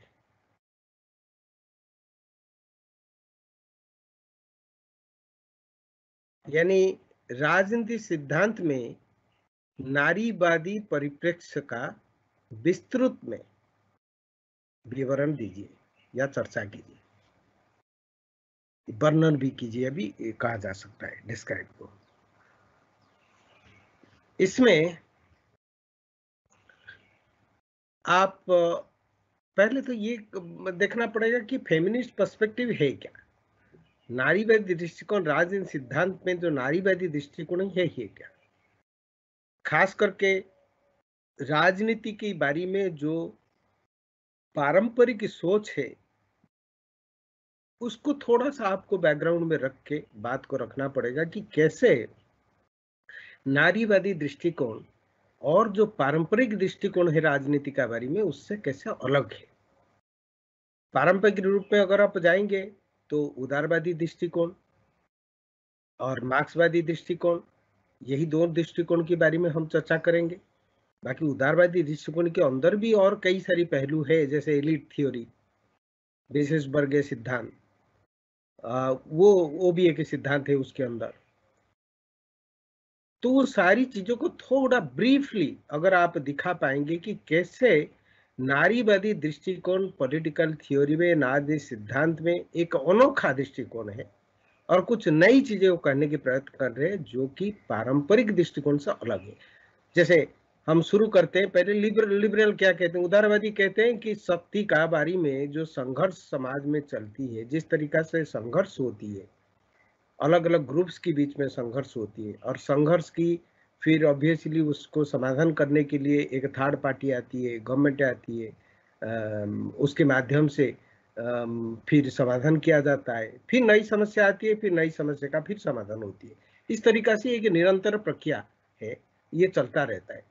इसके अनुसार शक्ति सबका पास है, किसी का पास कम हो सकती है, किसी का पास ज़्यादा हो सकती है, लेकिन ऐसा नहीं कि किसी का पास शक्ति ही शक्ति है और कोई पूरा शक्ति ही नहीं। इसमें लिबरल्स विश्वास नहीं करते।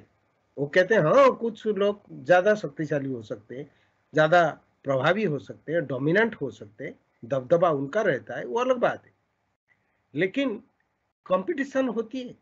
सभी का पास थोड़ा सा शक्ति है और शक्ति का टकराव होती है। शक्ति के लिए जो संघर्ष, उसमें सभी कॉम्पीट कर रहे हैं।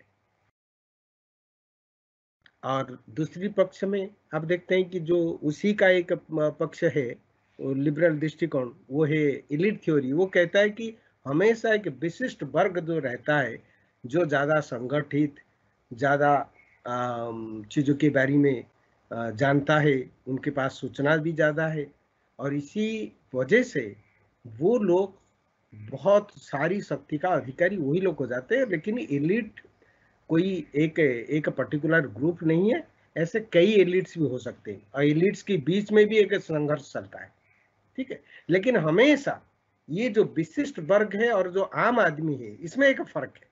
हमेशा ये विशिष्ट वर्ग जो कि ज़्यादा वोकल ज़्यादा बोलने वाला, ज़्यादा संगठित, अपनी बात को बोलने की शक्ति रखता है, वो ही बाजी मार लेता है, उसी का पास पावर रहता है।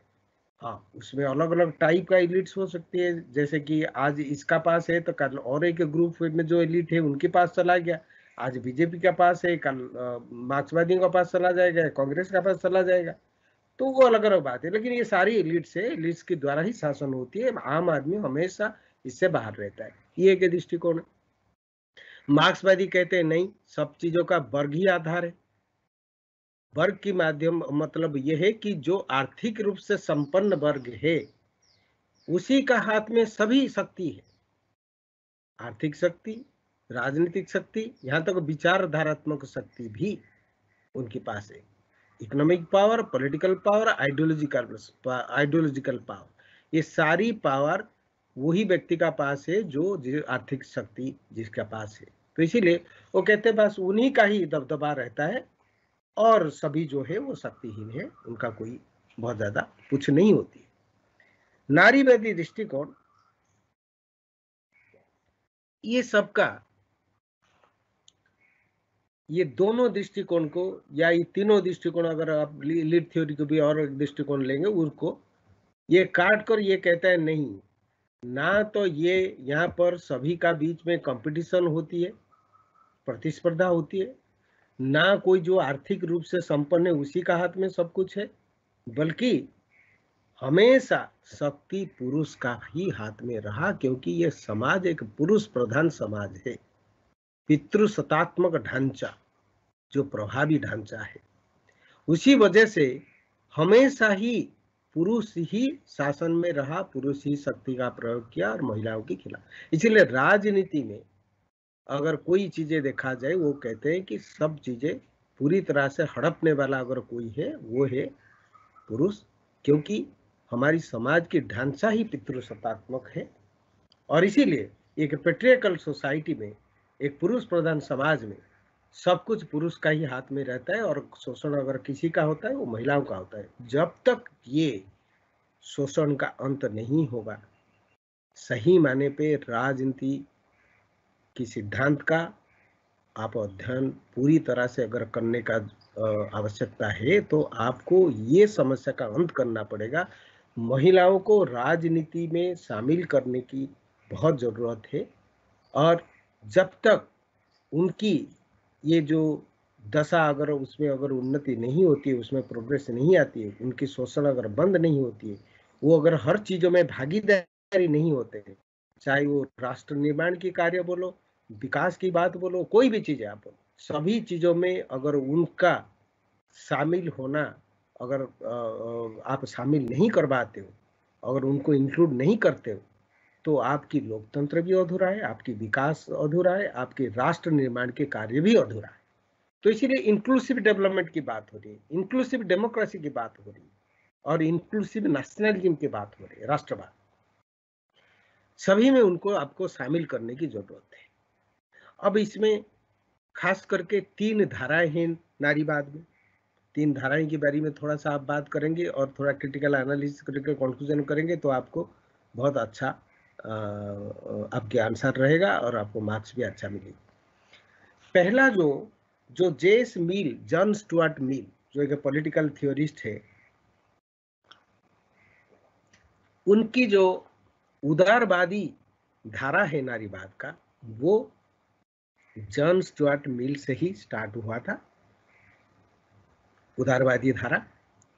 और ये उदारवादी धारा के अनुसार मुख्य रूप से ये कहा गया कि महिलाओं का शोषण की मुख्य वजह है कि उनको समान अधिकार नहीं दिया गया है।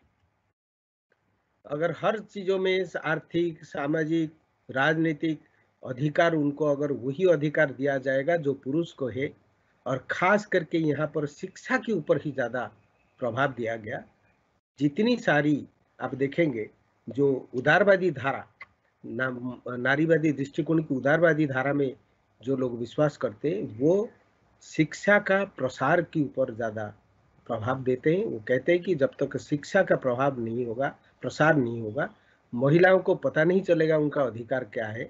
और उनको न्याय मिलने के लिए उनको कैसे लड़ाई करना है, क्या करना है, किस तरीका से आवाज़ उठाना है, ये सब चीज़ों के लिए ज़रूरत है उनका अंदर जागरूकता। और जागरूकता लाने के लिए शिक्षा ही बहुत इम्पोर्टेंट है तो इसलिए शिक्षा के प्रसार होना बहुत ज़रूरी है।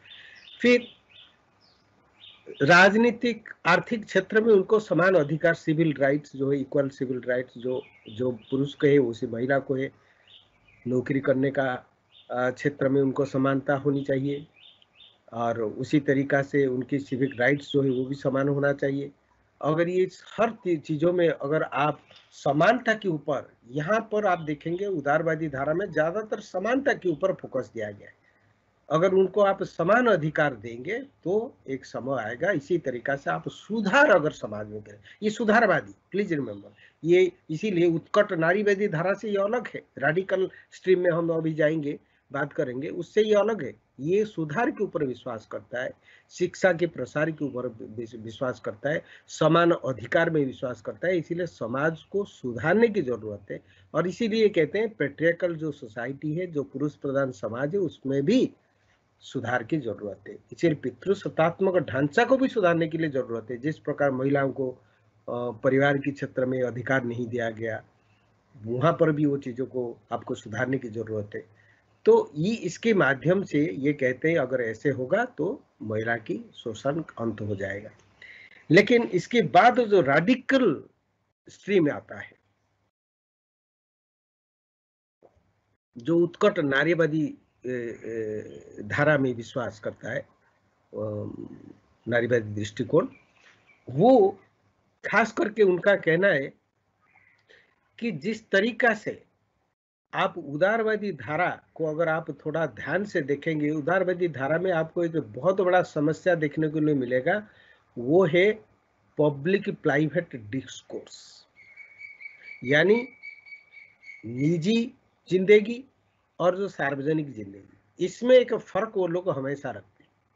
इसीलिए कोई भी जो उदारवादी धारा में विश्वास करता है, वो ये डाइकोटोमी को भेद नहीं कर पाए उन्होंने कहीं ना कहीं ये बात को रखा, अपनी तरीका से रखा, ठीक है, शिक्षा के प्रसार के बारे में बोला, समान अधिकार के बारे में लेकिन कहीं ना कहीं ये भी कहा कि मुख्य रूप से जो निजी क्षेत्र है, वहाँ पर वो महिला खास करके उनका कार्य है और जो पुरुष जो है पब्लिक डोमेन में ज़्यादातर पुरुष हाँ। थोड़ा बहुत इधर उधर वो बोले कि नहीं, उनको यहाँ पर भी समान अधिकार मिलनी चाहिए, वो बात कहा गया, लेकिन मौलिक रूप में वो ढांचा में वो परिवर्तन नहीं कर पाए, कहीं ना कहीं कुछ चीज़ों को प्राइवेसी के नाम पर, ठीक है, गोपनीयता के नाम पर कुछ बात को ये रखे कि नहीं, ये अगर पारिवारिक मामला है तो परिवार में राज्य का हस्तक्षेप होना अनुचित है, क्योंकि ये पारिवारिक मामला है, ये निजी मामला है। तो उदारवादी दृष्टिकोण कहीं ना कहीं जो घरेलू जो हिस्सा को प्रोटेक्ट करने की कोशिश किया और वहाँ राज्य का वहाँ पर हस्तक्षेप को पूरी तरह से विरोध किया। लेकिन उत्कट नारीवादी धारा ये कहता है कि नहीं, जो प्राइवेट डोमेन हो, जो निजी क्षेत्र है, वहाँ पर ही महिलाओं का सबसे ज़्यादा शोषण वही होती है। इसीलिए उनका एक विशेष करके एक जो नारा रहा, वो नारा है पर्सनल इज़ पॉलिटिकल। यानी व्यक्तिगत तो वाली चीज़ें कुछ है ही नहीं। वो भी पॉलिटिकल है, वो भी राजनीतिक है, वो भी पब्लिक मुद्दा है। उसको आप घरेलू मुद्दा कह के अगर उसे ढांकने के प्रयत्न करेंगे, इसका मतलब महिलाओं की शोषण के ऊपर आप पर्दा डालना चाहते आप उसको गोपनीय रखना चाहते गोपनीयता के नाम पर आप उसके ऊपर पर्दा डाल रहे हैं। तो इसीलिए उन्होंने उनका मुख्य नारा जो रहा, ये रहा कि पर्सनल इज़ पॉलिटिकल यानी आप पर्सनल कह के किसी चीज़ को आप राज्य की हस्तक्षेप से अलग नहीं रख सकते। हैं अगर ऐसे आप कर रहे हैं तो आप महिलाओं की शोषण का अंत नहीं करना चाहते, क्योंकि खास करके ये घरेलू क्षेत्र है जहाँ पर महिलाओं का सबसे ज़्यादा शोषण हुआ है। इसमें आप, खास करके आप आप देख लीजिए, आपकी जो समाज में आप लोग रहते हैं, उसी में आप देख लीजिए, आज महिलाओं के खिलाफ बहुत ज़्यादा अन्याय अत्याचार होती है। और दिल्ली तो दिल्ली को तो कहा जाता है कि दिल्ली में सबसे ज़्यादा अगर महिलाएँ असुरक्षित कहीं है तो दिल्ली है। दिल्ली शहर में महिलाएँ सबसे ज़्यादा असुरक्षित है, ये बात कहा जाता है। तो अगर ये बात है तो यहाँ पर आप देखिए किस तरीका से उनका ऊपर अन्य अत्याचार को अगर आप थोड़ा सा देखेंगे, पुलिस रिपोर्ट में या न्यूज़पेपर में जो भी चीज़ें आ रही है, उसमें आप देखेंगे तो ज़्यादातर केसेस में महिलाओं के ऊपर जो भी अत्याचार हुआ या क्राइम हुआ इसमें आप देखेंगे जो लोग क्राइम किए हैं वो महिला को जानते थे। उनका आसपास का लोग है। यानी कहीं ना कहीं आप कहेंगे कि जो उनकी प्राइवेट मामला जो है इसका कहते हैं जो घरेलू जो मुद्दा है घरेलू परिवार के जो सदस्य है होंगे या थो, थोड़ा सा डिस्टेंट रिलेटिव होंगे यही लोग यही लोग उनके ऊपर अत्याचार कर रहे हैं। और इसीलिए आप देखेंगे फ्रेंडली एंट्री हुई है घर में। सर्व भी किया गया है, चाय स्नैक्स भी दिया गया है, उसका बाद क्राइम हुआ है। इससे क्या साबित होता है? इससे साबित होता है कि महिलाएँ अपने घरेलू क्षेत्र में वो सिक्योर नहीं है। उनके ऊपर अत्याचार वहाँ भी होता है, वहाँ ज़्यादा होता है, ज़्यादातर क्राइम वही होता है। मैरिज में भी महिलाएँ सुरक्षित नहीं है। इसीलिए आप सभी जानते हैं इसी समय में एक बहुत बड़ा जो कॉन्सेप्ट का ऊपर बहुत ज़्यादा चर्चा हो रहा था, वो है मैरिटल रेप यानी इसके अंदर भी इस तरीका से उनके ऊपर क्राइम हो सकती है और इसका भी हम लोग को कबूल करना पड़ेगा। तो ये ये ये जो सारी बातें हैं, इससे पता चलता है कि आप घरेलू मामला को, आप घरेलू कह के आप उसको कह नहीं सकते कि यहाँ पर किसी तरह की कोई हस्तक्षेप राज्य का नहीं होगा। राज्य का हस्तक्षेप होना अनुचित, ये बात आप नहीं कह सकते। ये अगर आप कह रहे हैं तो कहीं ना कहीं आप इनको प्रोटेक्ट करने की कोशिश कर रहे हैं। जो अन्यायी, जो अत्याचारी, जो महिलाओं का ऊपर अत्याचार किया है, उसको आप रक्षा करना चाहते हैं, उसको आप डिफेंड करना चाहते हैं। तो इसीलिए ये खास करके इस बात को ये उठाते हैं। और इसके बाद ही आप देखते हैं, फिर उसका बाद इनकी कुछ ऐसे रेडिकल थॉट से कुछ विचार है, जिसमें वो हर चीज़ों में ये पितृसत्तात्मक ढांचा को पूरी तरह से आमूल परिवर्तन करने के लिए भी कुछ विचार कई बार उठाए जो बहुत ज़्यादा लोकप्रिय नहीं है। मैं मानता हूँ, बहुत ज़्यादा लोकप्रिय इसीलिए ये धारा नहीं हो पाया लेकिन इस धारा का जो योगदान को भी आप नजरअंदाज नहीं कर सकते। और इसके बाद और एक जो धारा है, खास करके आप देखते हैं कि जो समसामयिक धारा में हम लेंगे, उसमें सोशलिस्ट भी आता है मार्क्सवादी दृष्टिकोण भी कहीं ना कहीं आता है। उनके अनुसार जो सोशलिस्ट है, जो समाजवादी धारा, जो तृतीय धारा में हम उसको बात को रखेंगे, वो कहता है कि सिर्फ़ अगर आप कहेंगे कि पितृसत्तात्मक ढांचा को समाप्त कर देने से महिला की शोषण अंत हो जाएगा, वो सही नहीं है। उनका कहना है कि महिलाओं का अगर सही तरह से उनका रक्षा करना है तो अत्याचार को बंद करना है, उनको मुक्त करना है तो आपको कैपिटलिज्म यानी पूंजीवाद की पूरी तरह से पहले इसको ही हटाना पड़ेगा। पूंजीवादी व्यवस्था को, क्रांति लाकर अगर पूंजीवादी व्यवस्था को आप पूरी तरह से आमूल परिवर्तन उसको नहीं करते, उसको सोशलिज्म की तरफ़ आप नहीं ले जाते, समाजवादी की तरफ़ आप नहीं ले जाते तो फिर महिलाओं का रक्षा करना असंभव हो जाएगा, क्योंकि पूंजीवादी व्यवस्था ही सबसे ज़्यादा उनको महिलाओं की जो शोषण है, उसी का ऊपर वो टिका हुआ है। आप उदाहरण ले लीजिए, महिलाएँ जो काम करते हैं घरेलू क्षेत्र में, परिवार में जो लेडी काम करती है तो उसको कई बार काम की दर्जा नहीं दिया जाता है। और महिलाएँ इतना सारी काम करते हैं, इसीलिए पुरुष जाके फैक्ट्री में अगर काम करता है कैपिटलिस्ट के लिए और वो इसीलिए करता है क्योंकि उसको बहुत सारी काम से मुक्ति देने वाली वो महिलाएँ हैं जो हो सकता है पढ़ी लिखी नहीं है हो सकता है ग्रामीण है लेकिन घर पे जो आप उनके बच्चों को संभालती है गृहस्थी संभालती है सब हर चीज़ें करती है वो व्यक्ति जो सब काम करती है जिनको ये कहा जाता है कि वो अरे वो तो का, काम थोड़ी ना करती वो तो घर पे रहती है। घर पे रहने से क्या काम नहीं होता है क्या? लेकिन उसको, आप देखिए, उसको कोई, इसके लिए कोई ना तो कोई रिवार्ड मिलता है, ना कोई प्रशंसा मिलता है, ना कोई वेज मिलता है। लेकिन इसका डायरेक्ट फ़ायदा उठाने वाला पूंजीपति व्यवस्था है क्योंकि ऐसे सभी जो पुरुष अगर कहीं जाके काम करता है और ये व्यवस्था को ज़्यादा सशक्त बनाता है और पूंजीपति को उसका फ़ायदा मिलता है, उसका पीछे कहीं ना कहीं महिलाओं की श्रम, महिलाओं की लेबर उसमें है, शामिल है। तो इसीलिए कहीं ना कहीं इनको, अब फिर आप ये भी देखिए कि कुछ महिलाओं का कैसे कैपिटलिस्ट समाज में, पूंजीवादी समाज में किस तरीका से स्थिति और ज़्यादा दयनीय हो जाती है। जो वर्किंग लेडी है, जो काम करने वाली महिलाएँ हैं, उनके लिए डबल शिफ्ट हो जाता है। आके काम करेंगे ऑफ़िस में काम करेंगे टेन टू फाइव और उसका बाद जब ये शिफ्ट खत्म हो जाती है, फिर घर का शिफ्ट शुरू हो जाती है। एक तो घर से निकलने से पहले कई सारी काम है। सबके लिए खाना बनाना लंच ब्रेकफास्ट लंच हाँ और खुद के लिए हो सकता है अगर संभव हुआ तो लंच बना के पैक लंच ले लिए। और फिर आने का बाद फिर सारी काम को करना, संभालना, ये सारी चीज़ें तो ये डबल ड्यूटी हो जाती है। तो इसीलिए जिस तरीका से आप देखते हैं कि हमारी जो व्यवस्था में जब परिवर्तन नहीं आएगी, और इसमें सोशलिस्ट बहुत सारी महिलाएँ जो समाजवादी धारा के द्वारा प्रभावित है, उनका इसीलिए कहना था कि महिला को मुक्ति दिलाने के लिए, उनकी शोषण को अंत करने के लिए ये ज़रूरी है कि राष्ट्र को ऐसे बहुत सारी कामकाज को पूरी तरह से समाज को देखना का, देखने की ज़रूरत है। अगर समाज उस चीज़ को देखना शुरू कर देगा और जो खास करके जिस तरीका से किचन का जो काम है, घर के घरेलू जो बहुत सारी काम, वो अगर समाज के द्वारा हो पाएगा, एक कलेक्टिव रूप में, सामूहिक रूप में होगा तो महिलाओं को अपनी कैरियर बनाने के लिए भी समय मिलेगा।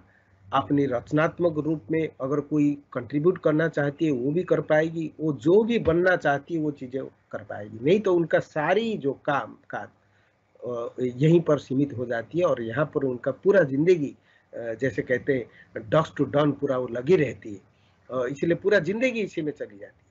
तो इसीलिए इस चीज़ को कई जगह पर ये भी कहा जाता है कि जो पैक्ड फ़ूड है फ़ूड प्रोसेसिंग है, वो अगर जितना डेवलप्ड होगा, कई कंट्री में ये चीज़ें हो रही है, आप देखते हैं कि बहुत सारी चीज़ें आपको किचन में ज़्यादा समय बिताना ही नहीं पड़ेगा। वो सारी चीज़ें मेकनाइज होके इतना बढ़िया से होके रखा गया है कि आप बस गर्म करो, खाओ। तो इस तरीका से पौष्टिक भी होना चाहिए अच्छा भी होना चाहिए और न्यूट्रिशन की ध्यान बिल्कुल देना चाहिए। और साथ ही साथ आपकी काम अगर समाज ऐसी तरीका से, अगर टेक्नोलॉजी का फ़ायदा उठाकर आप कर लेंगे तो वो संभव हो पाएगा जब समाज और एक स्तर को चला जाएगा, जब समाज खास करके बहुत सारी चीज़ों का देखभाल करेगा। इसीलिए सोशलिस्ट खास करके सोशलिस्ट सिस्टम के ऊपर वो ज़्यादा प्रभाव देते हैं और कहते हैं सोशलिस्ट सिस्टम में ही ये चीज़ें संभव है और इसी का माध्यम से महिलाओं की शोषण की अंत हो सकती है।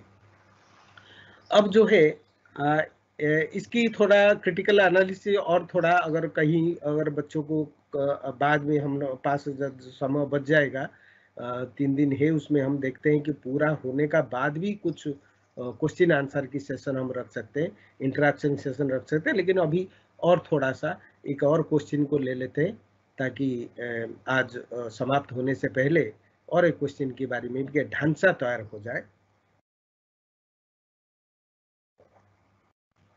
नेक्स्ट क्वेश्चन है distinguish between procedural and deliberative democracy यानी, दो तरह की जो लोकतंत्र है, एक विमर्शात्मक डिलिबरेटिव जिसको तात्विक भी आप कहेंगे और एक प्रोसीजरल जिसको आप प्रक्रियात्मक लोकतंत्र कहेंगे। ये दोनों में बड़ा फ़र्क है।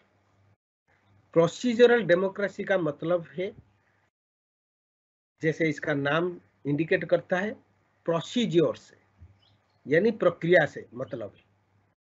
यानी कुछ डेमोक्रेटिक प्रक्रिया है, जैसे कि इलेक्शन होना पीरियडिक इलेक्शन होना, लोग का वोट देना, प्रतिनिधि चुनना फिर वो जाके सरकार बनाएँगे। फिर सरकार जब बन जाएगा, सरकार फिर नीति बनाएगा, फिर लोग के ऊपर नीति को लागू किया जाएगा, वगैरह वगैरह। ये जो सारी चीज़ें हैं। और इसके साथ साथ आप देखते हैं, freedom of judiciary.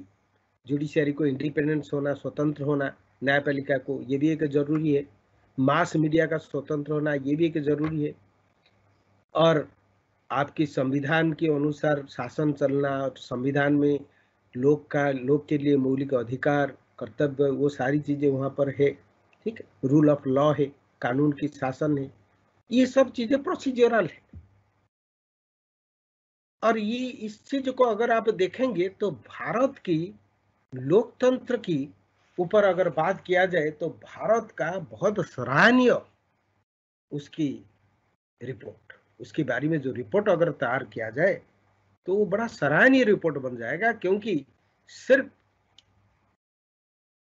Indira Gandhi का समय में 1975 में जो इमरजेंसी हुआ और उसी समय को छोड़कर नेशनल इमरजेंसी जो हुआ, उसी समय को छोड़कर भारत का प्रोसीजरल डेमोक्रेसी के मामला में, प्रक्रियात्मक लोकतंत्र के मामला में रिकॉर्ड बड़ा साफ़ है, बड़ा शानदार है। यहाँ पर लोकतंत्र ही हमेशा बना रहा। अब सभी जानते भारत जब स्वतंत्र हुआ 1947 उसका बाद कई कंट्री भी हुए। पाकिस्तान भी उदाहरण है, श्रीलंका उदाहरण है, बांग्लादेश अफ्रीकन में, अफ्रीका में बहुत सारी कंट्रीज़ भी ऐसे ही है, जो कि स्वतंत्रता के बाद बाद आप सभी जानते हैं, स्वतंत्र राष्ट्र होने का बाद बाद वहाँ पर सैनिक तानाशाही शुरू हो गया। ठीक है, कहीं पर वन पार्टी रूल शुरू हो गया। तो इसीलिए लोकतंत्र का अभाव। इस इलाका में पूरी तरह से आप देखा जाए तो लोकतंत्र का अगर कहीं पर लोकतंत्र टिका रहा, चाहे वो प्रोसीजरल सेंस में क्यों ना हो, वो भारत में। लेकिन ये जो प्रक्रियात्मक लोकतंत्र है, ये लोकतंत्र का एक पहलू है, एक भाग है, आंशिक लोकतंत्र है। ये संपूर्ण लोकतंत्र इसको आप कह नहीं सकते। जब तक हर व्यक्ति को लोकतंत्र की फ़ायदा नहीं मिलेगा। चाहे वो गरीब हो, अमीर हो, कोई भी है, किसी कास्ट का हो, किसी धर्म का हो, किसी भाषा बोलता है, कोई किसी के क्षेत्र का हो, और सभी का साथ अगर न्याय नहीं होती है, एक न्यायपूर्ण समाज की प्रतिष्ठा नहीं होती है, सभी एक अच्छा ज़िंदगी अगर जी नहीं पाते तो फिर ये प्रक्रियात्मक लोकतंत्र का क्या फ़ायदा है? ये नाम के मात्र लोकतंत्र हो जाए। तो यही वजह है। आप देखते हैं कि 1949 में जब आपकी संविधान की कार्य जब पूर्ण हो गया, डॉक्टर बी आर अंबेडकर जो ड्राफ्टिंग कमेटी का चेयरपर्सन रहे और इसीलिए उनको father of the Indian constitution कहा जाता है। उन्होंने अपना जो इनागुरल स्पीच में जो बात रखा था बड़ा महत्वपूर्ण बात है और वही डेलीबरेटिव डेमोक्रेसी का चर्चा को शुरू करता है। तो इसीलिए मैं आपको वहाँ तक ले जाता हूँ। 1949 में उनकी जो स्पीच था, उसका हिंदी में अनुवाद करके मैं आपको बताने की कोशिश करता हूँ।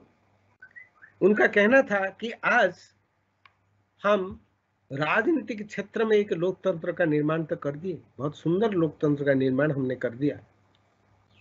क्योंकि सभी को राजनीतिक अधिकार है सिविक राइट्स है, नागरिक अधिकार है।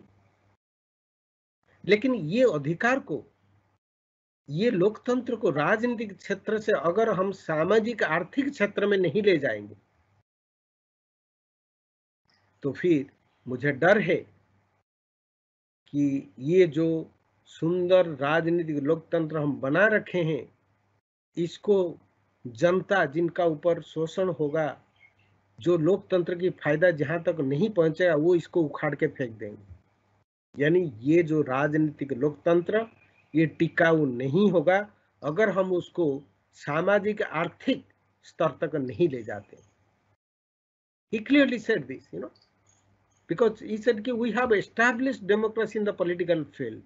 in the political domain in the political aspect but if we do not extend this democracy from the political sphere to the social and economic sphere, I'm afraid people will demolish, will root out, will destroy this political democracy which we have so laboriously built. हम इतना कष्ट करके जो सुंदर राजनीतिक लोकतंत्र का निर्माण किए इसको उखाड़ के फेंक देंगे वो लोग जिनको लोकतंत्र की फ़ायदा नहीं मिलेगा। तो इसीलिए ज़रूरी है कि राजनीतिक क्षेत्र से लोकतंत्र को सामाजिक आर्थिक क्षेत्र तक बढ़ाया जाए। कहने के मतलब यह है कि आप सिर्फ़ पॉलिटिकल राइट सिविक राइट्स देने से काम नहीं बनेगा। आपको सामाजिक आर्थिक अधिकार देना पड़ेगा। यानी सामाजिक आर्थिक क्षेत्र में जो शोषण हो रहा है लोग के ऊपर, उसको समाप्त करना पड़ेगा। अंबेडकर का ऑब्वियसली खास करके टिप्पणी था कि जो कास्ट के ऊपर आधारित जो अन्याय, अत्याचार हो रही है भारत की समाज में, जाति के ऊपर, वर्ग के ऊपर, कुछ लोग निसहा है, कुछ लोग का पास साधन है ही नहीं, साधन संपन्न नहीं है। The have nots the poor the downtrodden अगर उनकी जीवन की, जीने की जो अधिकार है उसको अगर आप जोरदार नहीं बनाएँगे, आप उनको अगर अगर बहुत ताकतवर नहीं बनाएँगे ताकि वो अपना लिविंग स्टैंडर्ड को ऊपर उठा सके, एक अच्छा ज़िंदगी जी सके, उनको हेल्थ अधिकार स्वास्थ्य के अधिकार अगर आप नहीं दे पाएँगे तो जीवन की अगर मूल्य उनके लिए यही रहेगा जैसे आज भी बहुत निम्न स्तर पर है तो फिर आप इसका मतलब ये है कि आप लोकतंत्र को राजनीतिक लोकतंत्र से आर्थिक और सामाजिक लोकतंत्र नहीं बना पा रहे और वो ही है तात्विक लोकतंत्र, सही लोकतंत्र। इसलिए तात्विक लोकतंत्र का मतलब है कि डेलिबरेटिव यानी विमर्शात्मक का मतलब ये है कि जब लोकतंत्र का फ़ायदा लोगों तक पहुंचेगा और लोग का तक लोकतंत्र की फ़ायदा पहुँचाने के लिए ऑब्वियसली आपको एक कल्याणकारी राज्य का तो चाहिए चाहिए, लेकिन एक कल्याणकारी राज्य किस तरीका से न्याय सभी वर्ग के लोग को दे रहा है और किस प्रकार आपकी डेमोक्रेसी को इंक्लूसिव बनाया जा रहा है? यानी सभी को साथ लेकर चलने वाली लोकतंत्र हो, सभी को आप साथ लेकर जा रहे अब अब इसमें सभी का कुछ टेक है। ऐसा नहीं कि आप किसी को बात दे रहे हैं। आपकी राष्ट्रवाद की बात जब आप कर रहे हो, ये राष्ट्रवाद में सभी को समान रूप से देखा जाता है। किसी को उनका जाति, धर्म या किसी क्षेत्र को या किसी प्रजाति का साथ जोड़कर नहीं देखा जा रहा है। किसी को ये नहीं कहा जा रहा है कि नहीं, आप ये नहीं कर रहे हो तो आप पाकिस्तान चले जाओ। ये बात नहीं है लेकिन इंक्लूसिव नेशनलिज्म का मतलब सभी को साथ में तो तभी जाके। और लोकतंत्र इसीलिए बहुत ज़रूरी है कि लोकतंत्र को जब तक आप उसको बहुत सशक्त नहीं बनाएँगे, विमर्शात्मक नहीं बनाएँगे। लोकतंत्र की फ़ायदा जब सब तक नहीं पहुंचेगा तो आपकी समाज कमज़ोर हो जाएगी। तो इसीलिए कई बार ये बात को बहुत ज़रूरी है समझना कि सरकार की आलोचना करना गैर राष्ट्रवादी सोच नहीं है। आप सरकार की नीति के खिलाफ भी आप हो सकते हैं। वो ज़रूरी है, क्योंकि वो बात उठना ज़रूरी है। तभी अगर आप अलग अलग दृष्टिकोण से अगर विचार, मतभेद अगर नहीं रहेगा तो कि अच्छा समाज की प्रतिष्ठा नहीं हो पाएगी। तो इसलिए डेलीबरेटिव डेमोक्रेसी का मतलब है कि जो इंस्टीट्यूशंस है, जो बहुत सारी हमारी जो पब्लिक इंस्टीट्यूशंस है, उसकी जो लोकतांत्रिक गुण को हम और ज़्यादा बढ़ावा दिए चाहे वो इलेक्शन कमीशन हो, चाहे वो आपकी जुडिशियरी हो, आपकी मीडिया हो सभी चीज़ को हमें सशक्त बनाने की ज़रूरत है। लोकतंत्र का कहीं भी लोकतंत्र का विनाश नहीं होना चाहिए, बल्कि हमारी समाज और ज़्यादा लोकतंत्रीकरण होनी चाहिए। तो इसीलिए गांधी का भी वो जो महत्वपूर्ण बात उन्होंने रखा था, जो खास करके पंचायती राज। पंचायती राज आज भी आप देख रहे हैं कि जिस तरीका से एक जो बिल खास करके आपकी संविधान को संशोधन कर दिया गया seventy third seventy fourth amendment की बात मैं कर रहा हूँ। तो नाइन्टी वन नाइन्टी टू में ये जो संशोधन की बात आप देख रहे हैं कि आपकी संघीय व्यवस्था का एक तीसरी एक चरण भी खुल गया। ठीक है? अब इसका मतलब है लोकतंत्र को हम लोक तक पहुँचा रहे हैं। हम ग्रास रूट लेवल तक हम पहुँचा रहे हैं। इसीलिए ग्रास रूट लेवल की डेमोक्रेसी की बात हो रही है। पंचायत को ज़्यादा सशक्त भूमिका अदा करने के लिए प्रोत्साहन दिया जा रहा है। लेकिन इसका बावजूद भी इसमें भी बहुत सारी कमियाँ हैं। अभी भी अभी भी आप देख रहे हैं कि जिस प्रकार वहाँ पर पंचायत को शक्ति तो प्रदान किया गया, लेकिन उसका इस्तेमाल कौन कर रहा है? वहाँ का जो रूरल एरिया में जो खास करके जो प्रभावी वर्ग है, उच्च जाति का लोग हो सकते हैं, उच्च वर्ग का लोग हो सकते है, जो आर्थिक रूप में संपन्न लोग हो सकते हैं, और जो खास, और पुरुष भी महिला के खिलाफ। कई बार आप देखते हैं महिला सरपंच है लेकिन उनका आ, उनका काम जो है और कोई जाके करता है वो वो की पुरुष है। ठीक है? इस तरीका से जो आप देख रहे हैं कि एक अच्छा संविधान का संशोधन होने का बावजूद भी कैसे लोकतांत्रिक संस्थाओं का किस तरीका से नष्ट किया जा रहा है और उसका फ़ायदा लोग तक तो नहीं पहुँच रहा है क्योंकि ऑब्वियसली हम प्रैक्टिस और थ्योरी और प्रैक्टिस का बीच में एक बहुत बड़ा प्रभेद रख लेते हैं और वहाँ पर इसीलिए कहीं ना कहीं आज भी आप देखेंगे बहुत सारी स्कोप है। वहाँ पर भी हमें बहुत सारी सुधार करने की ज़रूरत है ताकि जो लोकतंत्र, वो अगर डिलीबरेटिव तभी कहा जाएगा जब हम लोकतंत्र को गाँव गाँव तक पहुंचाएँगे। पूरा लोकल जो ग्रास रूट लेवल में लोग के फ़ायदा, लोग जब उसमें शामिल होंगे, ये ऐसा है कि विकास एक ऐसा धारा है जिसमें सभी को शामिल होने की ज़रूरत है। और जब वो चीज़ें नीचे से ऊपर को जाएगा, तभी ये ज़्यादा प्रभावी होगा। एक जन आंदोलन की तरह। अगर विकास की प्रक्रिया के जन आंदोलन की तरह, लोकतांत्रिक जो लोकतांत्रिकरण, वो एक जन आंदोलन की तरह अगर नीचे से आएगा, तभी जाके आप एक अच्छा लोकतंत्र का निर्माण कर पाएँगे। और इसको थोड़ा सा आप सस्टेनेबल डेवलपमेंट के साथ भी जोड़ने के प्रयत्न करेंगे। डेलिबरेटिव डेमोक्रेसी को सस्टेनेबल डेवलपमेंट यानी पर्यावरण। पर्यावरण की देख रेख पर्यावरण को किस तरीका से ऐसे एक डेवलपमेंट मॉडल रखा जाए जिसमें सभी को आप साथ कर रहे हैं, खास करके महिलाओं को, और उसके साथ साथ आप देख रहे हैं पर्यावरण का भी देखभाल हो रहा है, ताकि आपकी विकास जो है वो विनाश ना हो। विकास अगर विनाश हो गया तो फिर किसी को कोई नहीं रहेगा।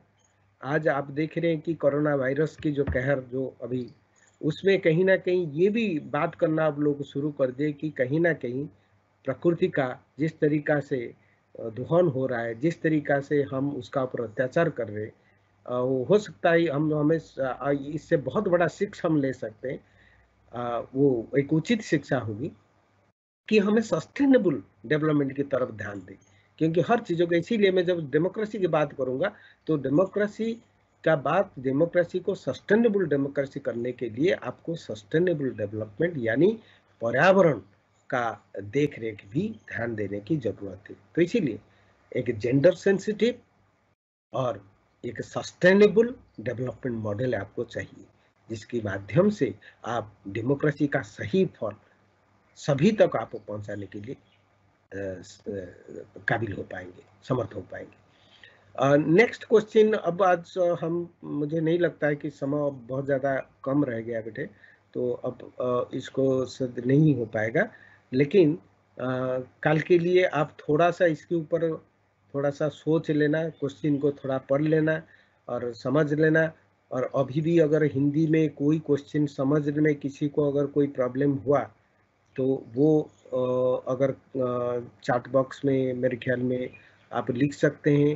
आ, मैं कोशिश करूँगा हमारा जो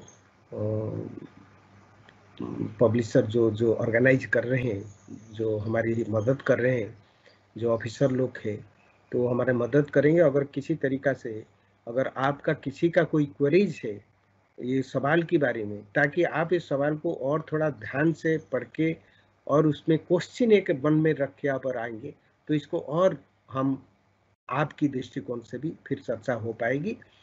और क्योंकि देखो, ये बहुत ज़रूरी हो जाता है, बहुत ज़रूरी हो जाता है कि क्वेश्चन की आंसर देने का जो तरीका आपका क्या है। कई बार आप आप जो क्वेश्चन का आंसर देने का समय में प्लीज़ रिमेम्बर आपको ये पता होना चाहिए कि आपको लिखना का है, क्या है। लेकिन उसके साथ साथ ये भी पता होना चाहिए क्या नहीं लिखना है। शायद वो ज़्यादा ज़रूरी है, क्योंकि नहीं तो इतना इरेलीवेंट हो जाते हैं बच्चे। क्वेश्चन पूछा गया, कुछ कुछ और जवाब देना शुरू कर देते। तो इसलिए क्वेश्चन को सही तरह से समझना, उसका आंसर क्या है, क्या पूछना चाह रहे हैं, और हमें कैसे नियंत्रित रूप में व्यवस्थित होकर उस जवाब को लिखना है। अच्छी तरीका से लिखना है, उसके सभी पहलू को ध्यान में रख के लिखना है, ना? हमें इरेलीवेंट नहीं होना है। तो इसीलिए ज़रूरी है क्या नहीं लिखना है जानना। तो इसीलिए आप क्वेश्चन के हिसाब से आप थोड़ा सा इसको ध्यान से ही बात को माइंड में रखिए। इसको क्वेश्चन को इसीलिए आप अभी लिख लिए होंगे मेरे ख्याल में। ये जो ब्रेक दिया गया था और इसमें अगर अभी भी किसी को कुछ भी पूछना है, आप आप उसको चैट बॉक्स में लिख सकते हो। मैं पढ़ के फिर आपको उस तरीके से समझा दूँगा। अगर हिंदी में कहीं कुछ कमी रह गया तो उसको हम सुधार लेंगे।